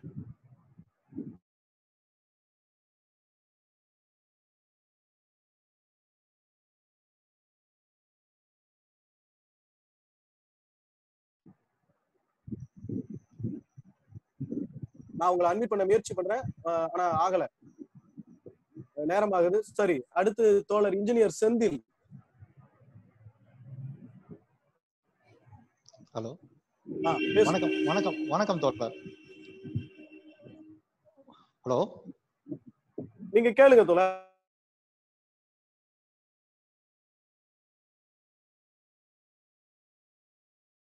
வணக்கம். வணக்கம் வணக்கம் வணக்கம் வணக்கம். பேசுறேன் இப்ப சமீப காலமா எனக்கு ஒரு சந்தேகம். அதாவது ஆரியத்துக்கும் திராவிடத்துக்கும் எதிரான பொருள் ஆரியம் சைடு வந்து அதாவது ஃப்ரண்ட் லைன் வாரியரா நிக்கிறது பூரா பாத்தீங்கன்னா பெண்களா நிப்பாட்டுறாங்க. அஹ், மதுவந்தி ஆகட்டும் அடுத்து வந்து பத்மா சுப்பிரமணியம் ஆகட்டும் அடுத்து இன்னும் ரெண்டு மூணு பேர்லாம் இருக்காங்க. இப்படி அவங்க ஃப்ரண்ட் லைன்ல நிப்பாட்டுறது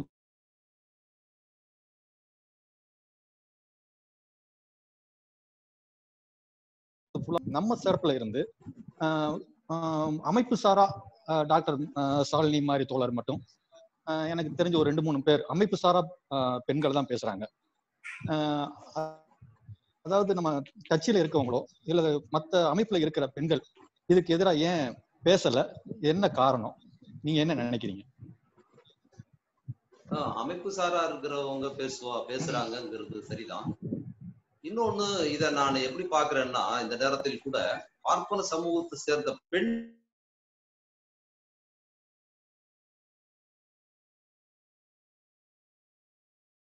பெண்கள் ரொம்ப தீவிரமா பார்ப்பனை மேன்மையை பேசுறாங்க. வந்து சூத்திரர்கள் பெண்களே சூத்திரர்கள் தான். அதனாலதான் பூணூல் போட்டுவதற்கு பார்ப்பன பெண்களுக்கு அனுமதி கிடையாது. ஆனா அவ்வளவு ஒடுக்குமுறைக்கு உள்நாடா இருந்த போது கூட பெண்கள் அதை பொருட்படுத்தாம தங்களோட சாதி பெருமை பேசுவது என்னன்னா தனக்கு கீழே கோடிக்கணக்கான எல்லா ஜாதிகாரன் மட்டமா இருக்கிறல்ல தனக்கு பெருமையா இருக்கு இல்லைங்கிற அந்த உளவியல் தான் அதை பேச வைக்கிறேன் ஆனா நான் எல்லாத்தையும் விட்டுருங்க. நான் என்ன சொல்ல விரும்புறேன்னா பார்ப்பன சமூகத்தில் இருந்து ஒரு முற்போக்காளர் இருக்கிறாங்கல்ல அவங்கள இது வந்து அடையாளப்படுத்துறதா நான் கருதுறேன்.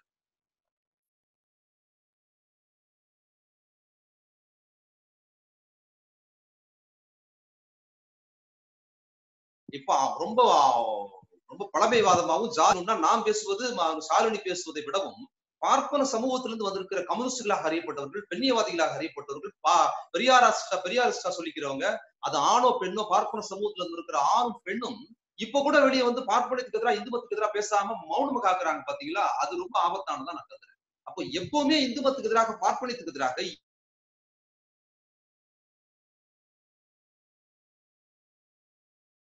யாருமே பேச மாட்டாங்க அப்படிங்கிறத ஒரு கம்யூனிஸ்ட் பார்வை தன் புத்தியை காட்டுகிறது. இது சரியானதுன்னு கிடையாதுன்னு அவங்க பேசினாதான் அவங்கள டேலி பண்ண முடியும்.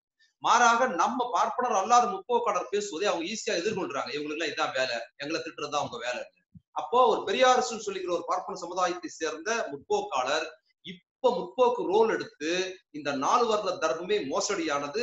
இந்த மகா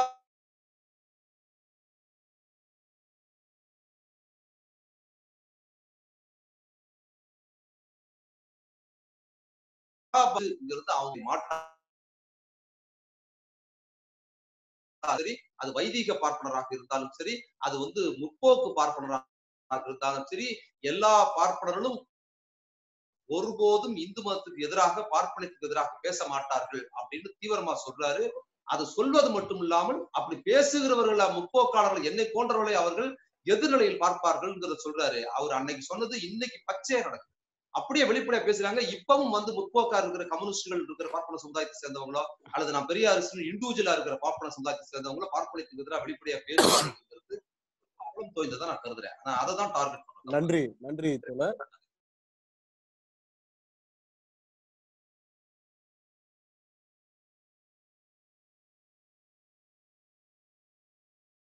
அடுத்து நன்றி.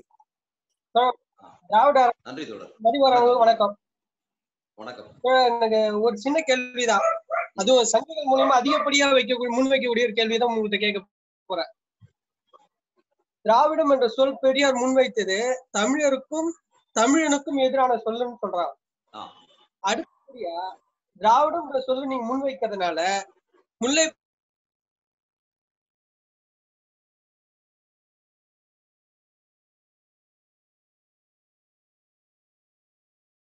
ஒரு கேள்வி முன்வைக்கிறாங்க இதை ஏன் நான் உங்ககிட்ட கேள்வி கேட்கிறேன் அப்படின்னா உங்களை போன்றவர்கள்ட்ட இருந்து உங்களுக்கு பெறக்கூடிய பதில்கள் தான் நாங்க வந்து முன்வைக்க முடியும்.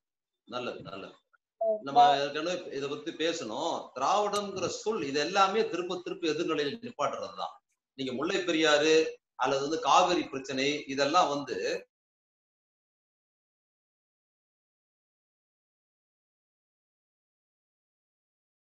அங்க வந்து பேசுகிற அமைப்பு வந்து திராவிட கட்சி திராவிடம் சித்தாந்த முல்லை பெரியார் விவகாரத்தில் கம்யூனிஸ்ட் கட்சி அங்க இருந்தது இங்கேயும் கம்யூனிஸ்ட் கட்சி இருந்தது.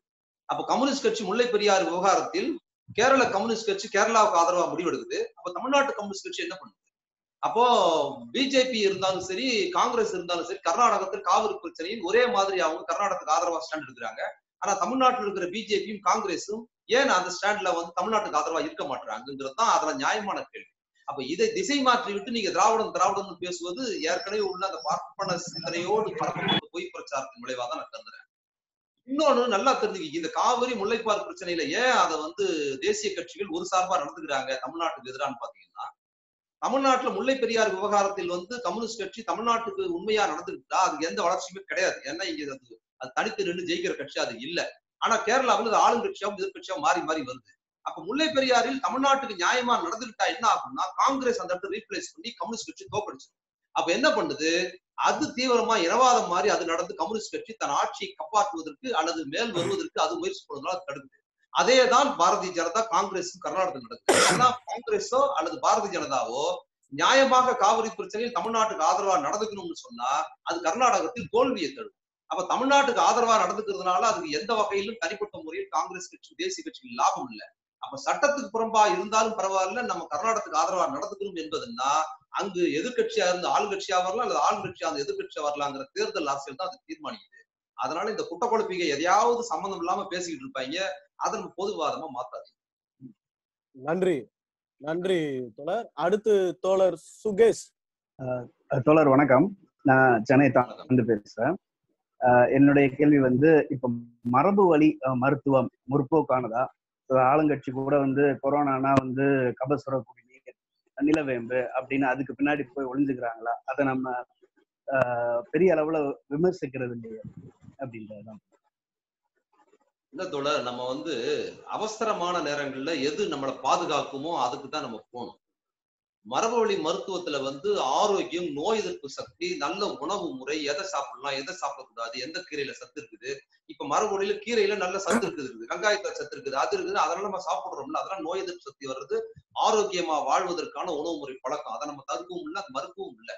ஆனா நெருக்கடியான சூழல்ல கும்பலா மக்கள் சாகும்போது எது நம்மளை பாதுகாக்குமோ அதை தான் நம்ம கையெடுக்கணும். மரபொழி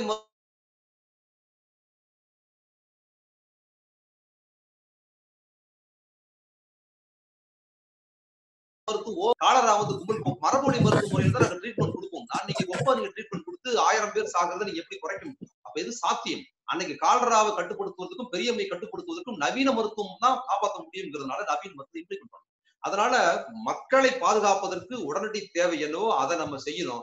அது நவீன மருத்துவத்துக்கிட்ட இருக்குதுங்கிறதுனாலதான் நவீன மருத்துவத்தை நம்ம பரிந்துரைக்கிறோம்.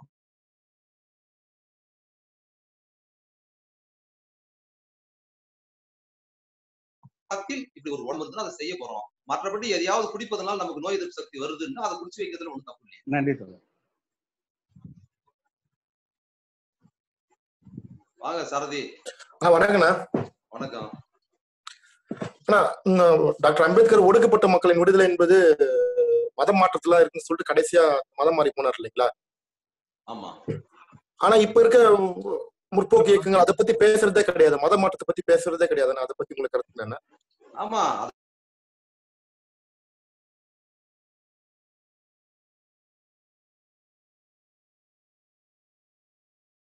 அதைத்தான் நான் சொல்றேன். அவங்க மீண்டும் மீண்டும் மத மாற்றத்தை பேசாமல் தலைவர் அம்பேத்கர் வந்து திருட்டப்படாத மக்களுக்குன்னு அவர் சொல்றார். அன்டச்சபிள்ஸ்க்குன்னு அவர் மத மாற்றத்தை தான் தீவிரமா வலியுறுத்துறாரு நீங்க எதை பேசினாலும் அதுக்குள்ளெல்லாம் சாதி அமைப்பு முறை இருக்கும். இடஒதுக்கீடு உரிமை அதெல்லாம் இருக்குது சரிதான். ஆனால் தீண்டாமை ஒழியணும்னா இந்து மதம் இருக்கும் வரை தீண்டாமை இருக்கும். இந்து மதத்தை முற்றிலுமா நம்மளால ஒழிக்க முடியாது. நாம என்ன பண்ணலாம் இந்து மதத்தை விட்டு வெளியேறுவதன் மூலமாக தீண்டாமை ஒழிக்க முடியும்.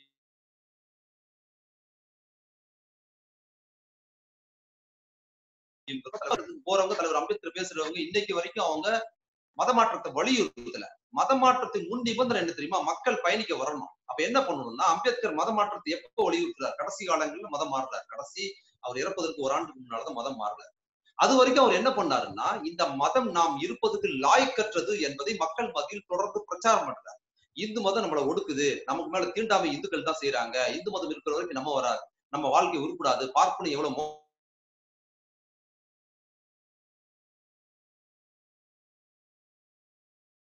மோசம். எதிர்ப்பு பிரச்சாரத்தை சொல்லிட்டு மாற்றத்தை வலியுறுத்தினார் தலைவர் அம்பேத்கர். அப்ப என்ன நடக்குதுன்னா இங்க இந்து மத எதிர்ப்பு பிரச்சாரமே நடக்கல. தலைவர் அம்பேத்கர் பேர்ல இயங்குற இயக்கங்கள் கூட இந்து மத எதிர்ப்பு பிரச்சாரத்தையும் பார்ப்பன எதிர்ப்பு பிரச்சாரத்தையும் செய்யாம இருக்கிறதுனால தான் அவங்க மத மாற்றத்தை வலியுறுத்துறது இல்ல மாறாக என்ன நடக்குதுன்னா இந்து மத எதிர்ப்பு பேசுகிற பெரியார் இயக்கங்களுக்கு எதிராக அவதூறு பேசுகிறவர்கள் அதிகமா வந்திருக்கிறாங்க. மாறாக இவர்கள் ஒருபோதும் நீங்க பெரியார மோசமான விமர்சனம் பண்ணாலும் திராவிட இயக்கம் சரியில்லைன்னு சொன்னாலும் அதெல்லாம் பிரச்சனை இல்லை விட்டுருங்க. அம்பேத்கர் பேசிய விஷயத்தை கடைபிடிச்சாலே பெரியார் கடைபிடிக்கிறதா மாறிடும். என்ன பண்ணார்? அம்பேத்கர் இந்து மத எதிர்ப்பு பார்ப்பன எதிர்ப்பு காந்தி ஒழிப்பின் வழியாக சாதி ஒழிப்பு பார்த்தாரு. பெரியாரும் அதைத்தான் பார்த்தாரு. அப்போ இந்து மதம் தேவையில்லை பெரியார் உடைய பார்ப்பனி நமக்கு தேவையில்லை அம்பேத்கர் சொல்லியிருக்காரு. பெரியார் நமக்கு தேவையே இல்லைன்னு சொல்வது பெரிய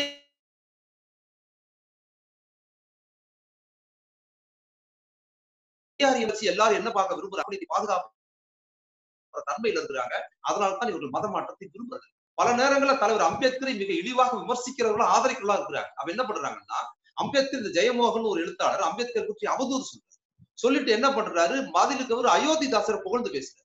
அப்ப அம்பேத்கரா அயோத்திதாசரான்னு பொறுத்து பாக்குறவங்க அம்பேத்கரை இழிவா பேசியிருந்தாலும் அயோத்திதாசரை புகழ்ந்து பேசிட்டார் என்பதற்காக அவரை கூப்பிட்டு பாராட்டு விழா நடத்துறாங்க அவரை கூப்பிட்டு புத்தக விழா நடத்துறாங்க அவரை வச்சு தனி கருத்தரங்கள் நடத்துறாங்கல்ல. அப்ப எப்படி மத மாற்றத்தை நீங்க போக முடியும்? இது போல சிக்கல்கள் மிக தீவிரமாக நுட்பமாக இந்து மதத்தை பார்ப்பனத்தை பாதுகாக்கிற தன்மை தலைவர் அம்பேத்கருக்கு எதிராகவே கட்டமைக்கப்படுது. இந்தியா முழுக்க பிஜேபி வந்ததுக்கு பிற்பாடு அதற்கு முன்னால சங் பரிவார் கும்பல்கள்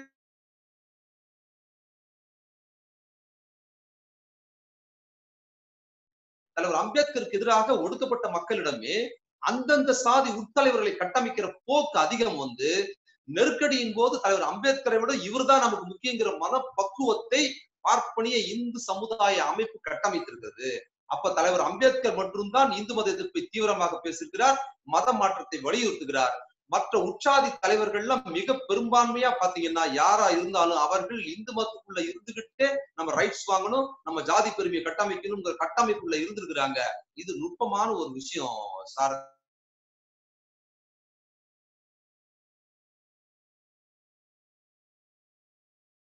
பேசினா என்ன பேசணும்னா இதுக்குதான் மற்ற எல்லாவற்றையும் பேசணுங்கிறது தான் அடிப்படை. அது இன்றைய நன்றிண்ணா நன்றி நன்றி.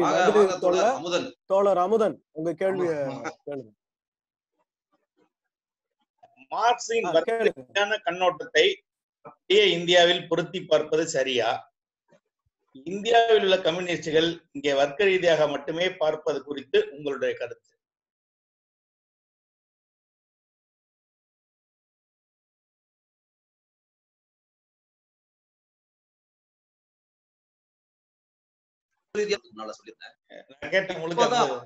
ஆமா பெரியார் அம்பேத்கரோட அரசியல் தீவிரம் இன்னைக்கு ரொம்ப தீவிரமா அது வளர்த்தெடுத்ததுக்கு பிற்பாடுதான் இன்னைக்கு வந்து கம்யூனிஸ்டுகள் பெரியார் அம்பேத்கரை ஆதரிக்கிற நிலைக்கு மாறிக்கிறார் அவங்க போஸ்டர்ல பாரதியாருக்கு இருந்த முக்கியத்துவம் மார்க்ஸ் எங்கல்ஸ் லெனின போட்டிருந்தா கூட பரவாயில்ல. அவங்க காந்தியும் பாரதியார்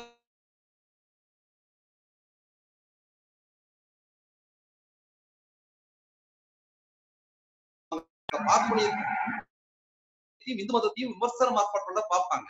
அப்ப வேதத்தை புனிதம் தான் சொல்லுவாங்க. அப்ப மார்க்ஸ் எங்கல்ஸ கூட லெனின் கண்ணோட்டத்தில் கூட அவங்க தீவிரமா எதையும் பேசல பிரச்சாரம் பண்ணல. பல இள கம்யூனிஸ்டுகளுக்கு கூட மார்க்சிய மேற்கோள்கள் தெரியல லெனின் பத்தி தெரியல மாறாக அவங்களுக்கு பாரதி பத்தி தெரியுது. இன்னைக்கும் கூட பாத்தீங்கன்னா சில இன்டலக்சுவலா பேசுற மார்க்சிஸ்டுகளா இருக்கிறவங்க கூட பாத்தீங்கன்னா பெரிய மார்க்சிய ஆய்வாளரா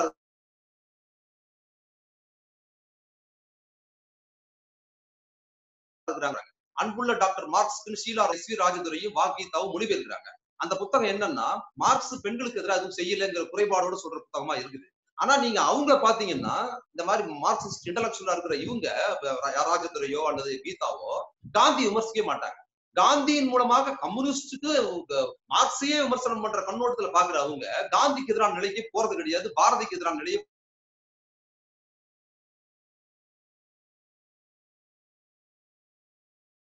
போறது மார்க்சியத்தை படித்த பெரிய அறிவுஜி நீங்க மற்ற சூழலை புரிஞ்சுக்க முடியும். என்ன இப்ப கூட அவங்க வந்து பெரியார் அம்பேத்கர் தேவை கருதி தான் ஆதரிக்கிறாங்க. அதனால் சாதி எதிர்ப்பு இந்து மத எதிர்ப்பை கம்யூனிஸ்டுகள் என்னைக்கு தீவிரமாக பெரியார் அம்பேத்கர் இயக்கம் பேசுவது போல் பேசுகிறார்களோ அன்னைக்கு இந்த சமூகத்தில் ஒரு பாய்ச்சலான மாற்றம் நடக்கும். அது வரைக்கும் அவங்க எவ்வளவு சிறப்பான ஒரு ஒரு ஒரு புரட்சகர வாழ்க்கையை பேசினாலும் கூட பெரிய மாற்றங்கள் வராதுன்னு நான் நம்புறேன். நன்றி நன்றி தோழர். அடுத்து தோழர் இளங்கோவன். உங்க கேள்வி கேளுங்க.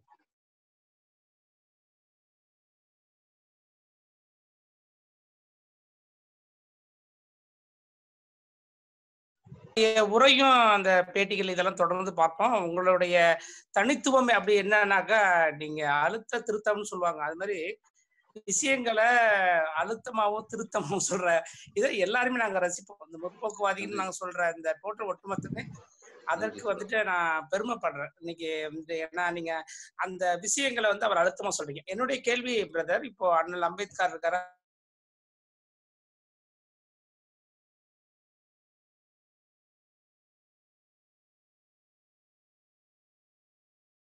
கொள்கை எஸ் பின்னாடி சவுண்ட். ஓகே ஓகே இந்த கொள்கை. நைட் வந்து வீட்டுக்கிட்ட உட்காந்து கேலக்ஸி ஏ த்ரீ ஜீரோ தோழர் கேலக்ஸி ஏ த்ரீ ஜீரோ உங்களை மியூட் பண்ணுங்க. நான் உங்களை மியூட் பண்ணிருக்கேன் நீங்க எடுத்து எடுத்து விட்டுட்டு இருக்கீங்க. நான் உங்களை ரிமூவ் பண்ணிடவா? தயவு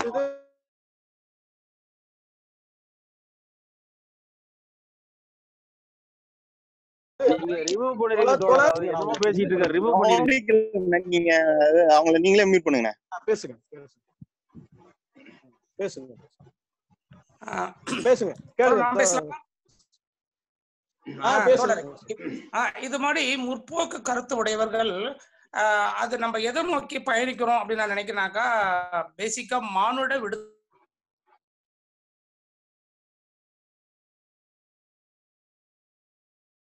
விடுதலை நம்ம எல்லாம் பயணிக்கிறோம். அந்த பயணிக்கிற வழியில நான் வந்து நம்ம கூர்ந்து கவனிக்கிறேன். நம்ம என்னன்னாக்கா கிட்டத்தட்ட எழுபது ஆண்டுகள் நம்மளுக்கு சுதந்திரம் அடைஞ்சி நம்ம கான்ஸ்டியூஷன்ல வந்துட்டு ஒரு பயன்பெறுகிறோம். நம்ம வந்து படிப்புல கல்வியில வந்துட்டு நமக்கு ஒரு இடஒதுக்கீடு. நம்ம வந்து சமூக நீதி பெறுறோம். அதே மாதிரி வேலை வாய்ப்புல பெறுறோம். எழுபது ஆண்டுகளுக்கு தற்போது உள்ள நிலையில தோழர் பார்த்தோம்னா தோழர் இளங்கோவன் தோழர் இளங்கோவன் தவறா எடுத்துக்க மாட்டீங்க. கொஞ்சம் நே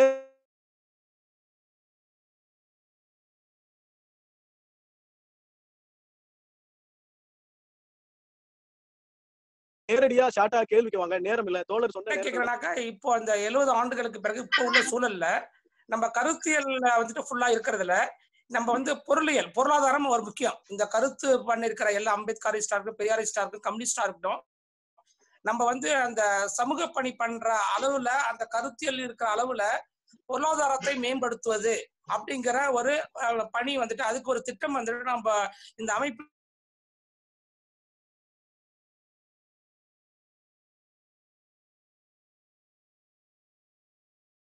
இல்லாத்துல அப்படின்னு ஒரு எனக்கு வந்து அது தோணுது. அது வந்து ஏன் எடுக்கல? இந்த அமைப்புகள் இந்த அமைப்புல ஈடுபட்டிருக்கவங்க ஏன் பொருளாதாரத்தை மேம்படுத்துவதற்கான ஒரு திட்டம் அதுல இல்ல?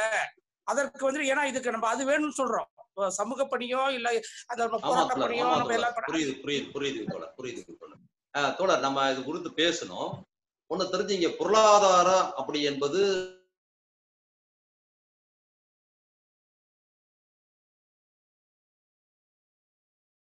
சமுதாயம் அப்போ நீங்க நல்லா தெரிஞ்சுங்க. அவர் தலைவர் அம்பேத்கரோ பெரியாரோ இடஒதுக்கீடு என்பது ஒரு பொருளாதார கோரிக்கை நமக்கு. அந்த பொருளாதார கோரிக்கை எங்க இருந்து பெற்றார்கள்ங்கிறத புரிஞ்சுக்கிட்டீங்கன்னா தான் நீங்க பாதுகாக்க முடியும். எங்க இருந்து பெற்றார்கள் தெரியுங்களா? அதை பண்பாட்டுக்கு எதிரான போராட்டத்திலிருந்து தான் பொருளாதார கோரிக்கை விட்டுருக்காங்க அப்ப பண்பாட்டுக்கு எதிரான போராட்டம்னா என்ன? இந்திய சமூகத்தில் பண்பாடாக இருக்கிற ஜாதிய பண்பா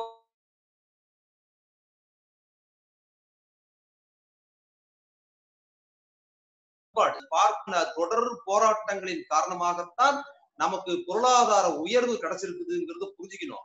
அதனால்தான் நாம இப்ப பொருளாதார இடஒதுக்கீடு பாதுகாக்க முடியல. அவங்க வெறும் இடஒதுக்கீடு போராட்டம் நடத்தல. இந்து மத எதிர்ப்பு பார்ப்பன எதிர்ப்பு மூலமாக நீங்க எங்களை இழிவா நடத்துகிறீர்கள் என்பதை நிரூபித்து இடஒதுக்கீடுங்கிற பொருளாதார உரிமையை வாங்கி கொடுத்தாங்க. இப்ப என்ன இருக்குது சமூகத்துல நம்மன்னா நாம வந்து ஜாதி இழிவை பழைய இழிவை சுட்டி காட்டுவதற்கே இப்ப நம்ம வெட்கப்படுகிறோம் அல்லது எதிர்நிலையில் இருக்கிறோம் நம்ம மேல்நிலையாக ஆயிருக்கிறோம்ன்றதுனால தலைவர் அம்பேத்கர் தலைவர்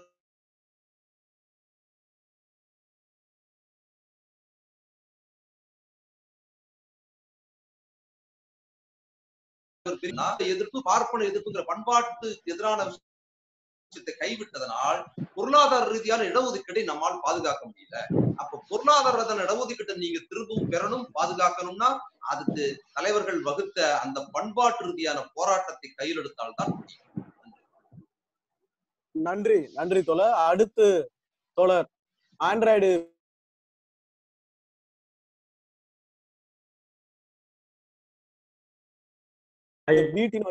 என்னோட கேள்வி வந்து இப்ப இதுக்கு முன்னாடி பேசுன தோழர் அந்த அம்பேத்கர் சிலையெல்லாம் அவமதிப்பை பத்தி அவர் கோவப்பட்டாரு. அதுக்கு அடுத்தபடியா அந்த ஆசிவகம் பத்தி எல்லாம் கேள்விப்பட்டாரு. நான் அடுத்து தொடர்ந்து வலியுறுத்திட்டு வரேங்கய்யா. நம்ம அம்பேத்கர் வந்து தீட்சை பெறும்போது இருபத்தி ரெண்டு உறுதிமொழிகள் எடுத்தாரு. அந்த உறுதிமொழிகளை எந்த ஒரு சிலை பீடத்திலையும் அமைக்காம இருக்கிறாங்க. அம்பேத்கரிஸ்டா இருக்கக்கூடியவங்க முத அதை அதை முன்னெடுத்து செய்யவே இல்லை. இதை நான் எல்லா இதுலயுமே வலியுறுத்துறேன். நீங்க சொன்னீங்க இப்ப பாருங்க இந்து மத எதிர்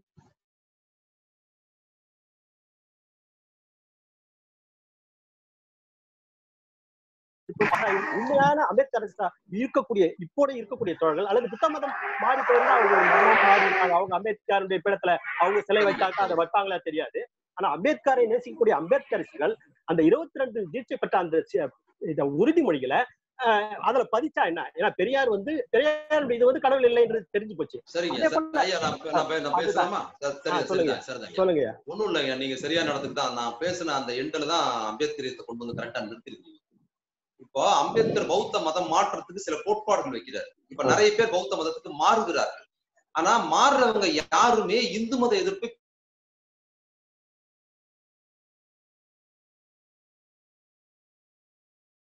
பேசுற பௌத்தத்துக்கான இருபது கோட்பாடும் வைக்கிறார்ல அது முழுக்க முழுக்க என்னன்னு பாத்தீங்கன்னா இந்து மத எதிர்ப்பு. நான் இந்து கடவுள்களை வழங்க மாட்டேன் சிவனை வழிபட மாட்டேன் ஆஹ் விஷ்ணுவை வழிபட மாட்டேன் இந்து திருநூறு வைக்க மாட்டேன் இந்து கயிறு கட்ட மாட்டேன். பௌத்தத்துக்குன்னு தனியா கோட்பாடு அவர் சொல்லல. அந்த இருபது கோட்பாடு என்பது இந்து மத கோட்பாடுகள் இந்து அடையாளங்களை விட்டொழிப்பேன் என்கிறது தான் உறுதிமொழியா வைக்கிறாரு. இந்த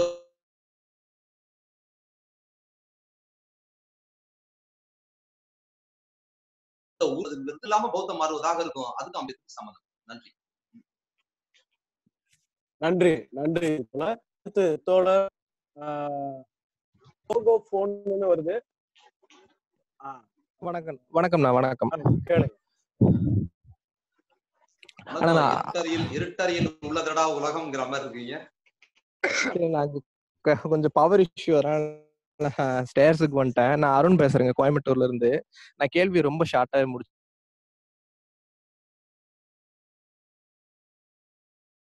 இப்ப இப்ப அவங்க தான் இருக்கிறாங்க. அவங்கள தான் நம்ம பெருசா போர்ட்ரேட் பண்ணி பேசிட்டு இருக்கோம். ஒரு fifteen years twenty years down the line யார் இருப்பாங்க? இப்ப என் கண்ணுக்கு யாருமே தெரிய மாட்டேங்கிறாங்க. சு- பேராசிரியர் இருக்கிறாரு நீங்க இருக்கிறீங்க. ஐயா சுபவீர பாண்டியன் இருக்கிறாரு. டுவெண்ட்டி இயர்ஸ் தேர்ட்டி இயர்ஸ் கழிச்சு எதிர்காலம் என்னவா இருக்கும்? இல்ல அருண் அருண் நம்ம இதுக்கு முன்னால நீங்க இப்பதான் வந்திருக்கீங்க. இது குறித்து விரிவா நான் பேசினேன். இருந்தாலும் நான் சொல்றேன். எனக்கு தெரிஞ்சு என் அனுபவத்திலையும் நான் சொல்றேன்.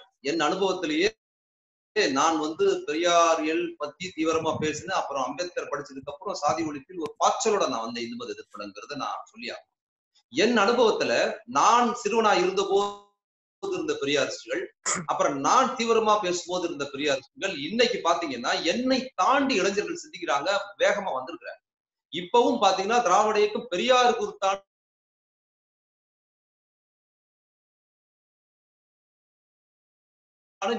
பேச்சாளர்கள் யாராவது எழுதுனாங்கன்னா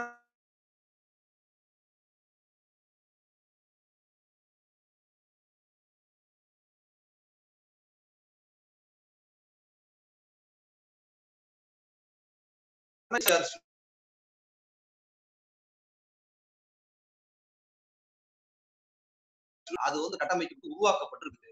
அதே போல் நீங்க நல்லா பாத்தீங்கன்னா பெரியார் பிறந்த நாளின் போதும் தலைவர் அம்பேத்கர் பிறந்த நாளின் போதும் இன்னைக்கு இருக்கிற பெரிய அரசியல் கட்சி தலைவர்களோ அல்லது ரஜினிகாந்த் போன்ற பெரிய நடிகர்களை விட மிக அதிகமான பிறந்த நாள் வாழ்த்து இணையங்கள்ல ரெண்டு தலைவர்கள் தான் வருது என்பது எதிர்காலம் மிக பிரகாசமாக திராவிட இயக்க அரசியல் பெரியார் அம்பேத்கர் அரசியல் பாய்ச்சலோடு போறதா தான் நான் நன்றி நன்றி தோழர். அடுத்து இந்த கேலக்ஸி எம் டுவெண்ட்டி அப்படின்னு இருக்கு. தோழர் நீங்க கேளுங்க. உங்களை அன்மியூட் பண்ணிக்கங்க நான் பண்ணிட்டேன். நீங்க உங்களை அன்மியூட் பண்ணுங்க. ஆடியோ ஆடியோ அன்மிட் பண்ணி. ஆடியோ தோழர் வணக்கம். நான் அருணாச்சலம் ஒசூர்ல இருந்து பேசுறேன். ஐயா வணக்கம்.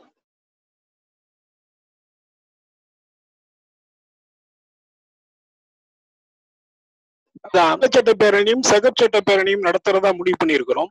நம்ம பேசுற அளவுக்கு மாசுக்கு கம்யூனிஸ்டுகள் வந்து தீவிரமா பெரியாருடைய கொள்கையை பேசுறது இல்ல அதுக்கு வந்து நம்ம இந்த காலத்துல கூட இந்த காலத்துல கூட அவர்கள் வந்து வேகமாக பேச தயங்குகிறார்களே. அயோத்திதாச பண்டிதருடைய நினைவு நாளுங்கிறதுனால அயோத்திதாச பண்டிதர் ஆறுமுக நாவலர் அருப்பிரகாச வள்ளலார். மூன்று பேருமே ஒரே ஒரு காலகட்டத்தில் இந்து மதத்துக்கு எதிராக இருந்த ஆன்மீகவாதிகள் அவர்களை தூக்கி பிடிக்க தயங்குகிறார்கள். ஐயா நீங்க முதல்ல பேசுன முதல்ல பேசின அந்த செய்திகளை நாங்க விரிவா பேசணும். கம்யூனிஸ்ட் கட்சி பத்தி ரெண்டு முறை விரிவா பேசிக்கிறோம். அதனால அந்த பதில் திருப்பி சொன்னா பொதுவா இருக்கும். மற்றபடி ஆறுமுக நாவலர் ராமலிங்க அடிகளார் அயோத்திதாசர் பத்தி சொன்னீங்க. ஆனா ஆறுமுக நாவலரை இந்த பட்டியலில் சேர்க்க முடியாதுன்னு நான் கருதுறேன்.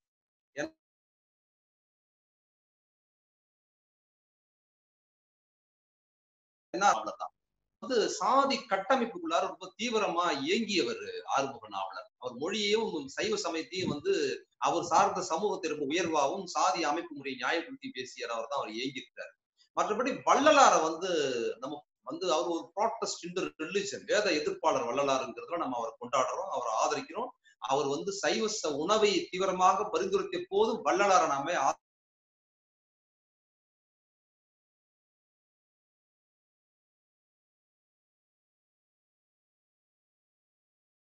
ஆதரிக்கிறது வந்து அவர் வந்து ஆறுமுக நாவலர் நம்ம சேர்க்க முடியாது என்றோம் நன்றி. நன்றி நன்றி தோழர். இறுதி கேள்வி நம்ம இறுதி கட்டத்துக்கிட்ட இருக்கோம். மணி ஏழு பதிமூணு. தோழ துரைராயப்பன். உங்க கேள்விய கொஞ்சம் ஷார்ட்டா கேள்வி ஐயா வணக்கம் ஐயா. நான் துரை துரைராயப்பன் அபுதாபில இருந்து பேசுறேன். என்னோட கேள்வி சிம்பிளான கேள்விதான்.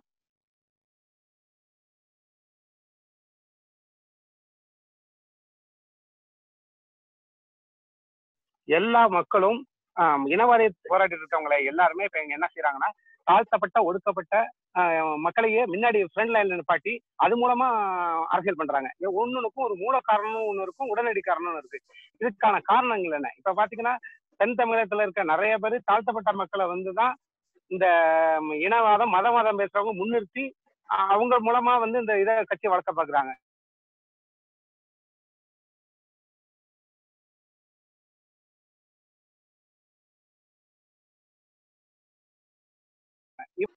அது நம்ம ஊர்லயும் இருக்குது. ஆனா தென் தமிழகத்தில் பொருளாதாரத்தில் பின்தங்கி இருக்கிற தாழ்த்தப்பட்ட மக்களும் பயன் மட்டும் பயன்படுத்துறதில்ல சங்கிகள். மற்றபடி இடநிலை சாதிகளை சேர்ந்த ஜாதி சங்கங்கள் மிக தீவிரமான இப்ப சங்கிகளின் செயல்பாடுகள்ல இயங்குறாங்க. நேரடியாவே இயங்குறாங்க. அதுல வந்து ஒடுக்கப்பட்ட சமுதாயத்திலிருந்து வந்த தலைவர்கள் பூரா இப்ப பிஜேபிக்கு ஆதரவா போயிருக்கிற மாதிரியே இடைநிலை சாதியிலிருந்து வந்த சமூகத்தை சேர்ந்த தலைவர்களும் பிஜேபிக்கு ஆதரவா இருக்கிறாங்கிறது வந்து அது என்னன்னா இதை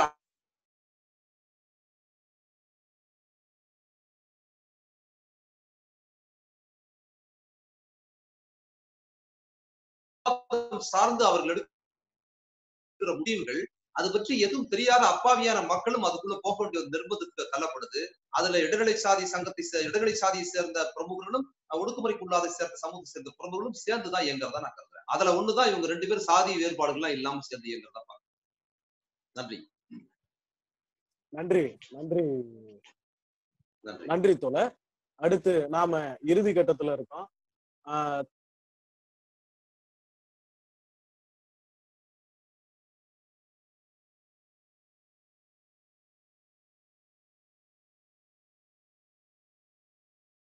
தோழர்கள் ஆளுமை என்ற ஒரு முன்னேற்பாடு வந்து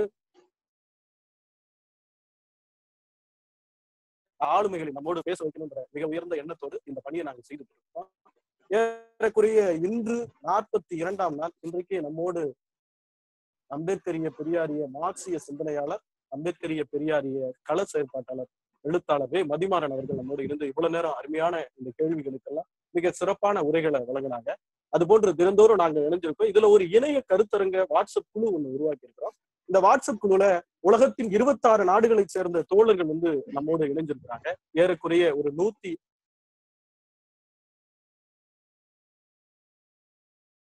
இணைய கருத்தரங்கம் ஊரடங்கு எவ்வளவு நாள் தொடருதோ அவ்வளவு நாளும் இந்த இணைய கருத்தரங்கம் தொடரும். அதுல உங்களை இணைச்சிக்கணும்னா நான் இப்ப சொல்றேன் இந்த வாட்ஸ்அப் என்ன குறிச்சுக்குங்க. எழுபது பத்து நாற்பத்தி ஆறு பனிரெண்டு தொண்ணூத்தி எட்டு. ஆங்கிலத்துல ஒரு முறை சொல்றேன். Seven zero one zero four six one two nine eight இந்த நம்பருக்கு உங்க பெயரை பதிவிட்டு ஒரு மெசேஜ் போட்டீங்கன்னா உங்களை இந்த வாட்ஸ்அப் குழு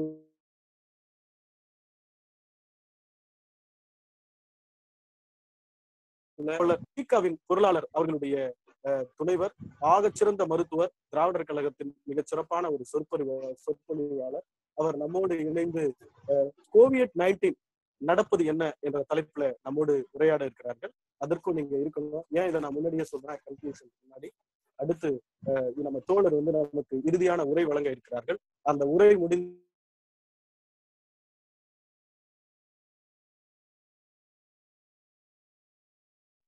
நீங்க கடைசியா இந்த அம்பேத்கர் பெரியார் பாக்ஸ் படிப்பு வட்டம் திருவாரூர் எங்களுக்கும் இந்த இணையத்துல இப்ப நம்ம கூட இணைந்துட்டு இருக்கிற உலக தமிழர்களுக்கும் இதை தாண்டி இப்ப இது நேரடியா நான் லைவ் வந்து நீங்க பேச ஆரம்பிச்சதுக்கு அப்புறம் தான் கனெக்ட் ஆனிச்சு. கொஞ்சம் டெக்னிக்கலா ப்ராப்ளத்துல இருந்தது.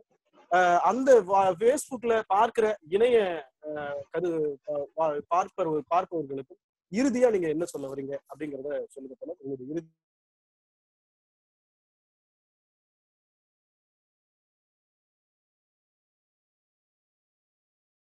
நான் பேசுறதுக்கு இவ்வளவு பெரிய வாய்ப்பு எனக்கு கொடுத்ததற்கும் இவ்வளவு பேர் இணையங்கள்ல வாட்ஸ்அப்ல ஃபேஸ்புக்ல என்னோட கருத்துக்களை கேட்பதற்காக இவ்வளவு பேர் இருந்திருக்கிறாங்கிறது எனக்கு பெரிய அவர்கள் எனக்கு செய்யற பெரிய மரியாதை. இன்னொன்னு என்னோட கேள்வி கேட்ட தோழர்களோடும் நான் ரொம்ப அதை சரியா வந்து சிறப்பா சொல்லிடுவேன்னு இல்லை. அவங்க என் என் மூலமாக சில செய்திகளை மக்களுக்கு சொல்ல விரும்பணும்னு அவங்க கேட்டிருக்கிறாங்க.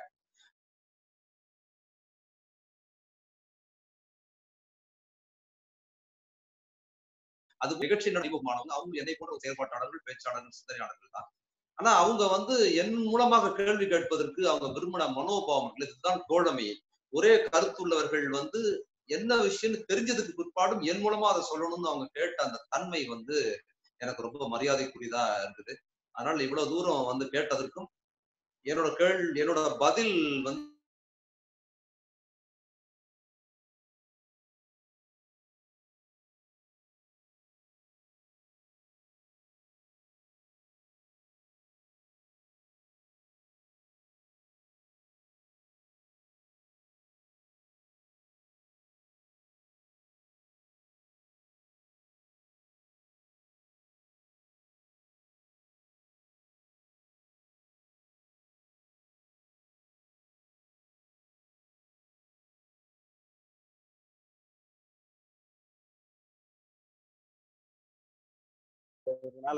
அஹ், நேரம் சொல்லிட்டு ஏறக்குறைய ரெண்டு மணி நேரம் இருபது நிமிஷம் எங்களோட பயணிச்சிருக்கீங்க அதுக்கு நாங்க முதல்ல உங்களுக்கு ஒரு பெரிய நன்றி சொல்லணும். அது இது இது உண்மையா சொல்லிதான் ஆகணும். நன்றி சொல்றது தோழர்களுக்குள்ள இருந்தாலும் உங்களுடைய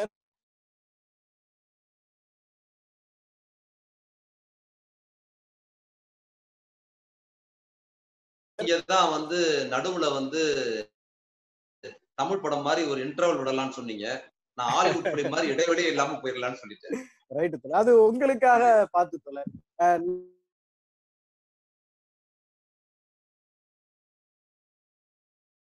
நான் படிப்பு வட்டத்தின் மூத்த உறுப்பினர் எங்கள் படிப்பு வட்டத்தின் மூத்த மகளிர் உறுப்பினரும் கூட அம்மா தேவிகா அவர்களை அன்போடு அழைக்கிறேன்.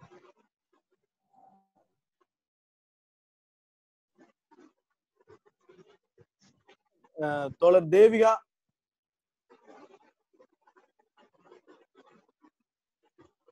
அனைவருக்கும் தேவிகா வணக்கம். உங்க இணைப்புல எதுவும் பிரச்சனை? அம்மா. ஆஹ் வந்துட்டாங்க. அனைவருக்கும் வணக்கம். இ- அருமையான கருத்துரை வழங்கிய தோழர் அவர்களுக்கும் நிறைய சந்தேகங்களை இந்த இணையத்தின் மூலம் வழங்கிய உங்க- உங்களுக்கு. என் பேரு தேவிகா. ஆசிரியரா பணிபுரியுறேன். திருவாரூர் மாவட்டத்துல தலைவர். தோழர் உங்க கருத்துக்கள் கொஞ்சம் ரொம்ப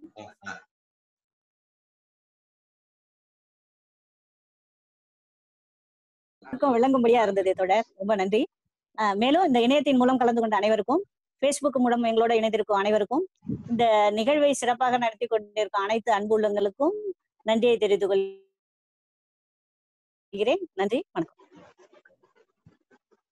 நன்றி. நன்றி. நன்றி தோழர். மதிமாறன் உள்ளிட்ட இந்த இணைப்புல எங்களோடு இணைந்திருக்கிற உலக நாளை மீண்டும் இதே நேரத்தில் அஹ், மிகச்சிறந்த மருத்துவர் இந்த மருத்துவ ரீதியாக நடைபெறக்கூடிய விஜயங்களை பகிர்வதற்கு அருமையான ஒரு ஆளுமை மருத்துவர் ரா கௌதமன் அவர்கள் நம்மோடு இணைகிறார். அந்த முறையிலும் நீங்கள் நாளை மாலை சரியாக நாலு ஐம்பதுக்கு இணைப்புல வந்து சரியாக ஐந்து மணிக்கு துவங்கி விடுவோம். இது முகநூலிலும் நேரலையாக ஒளிபரப்பாகும்.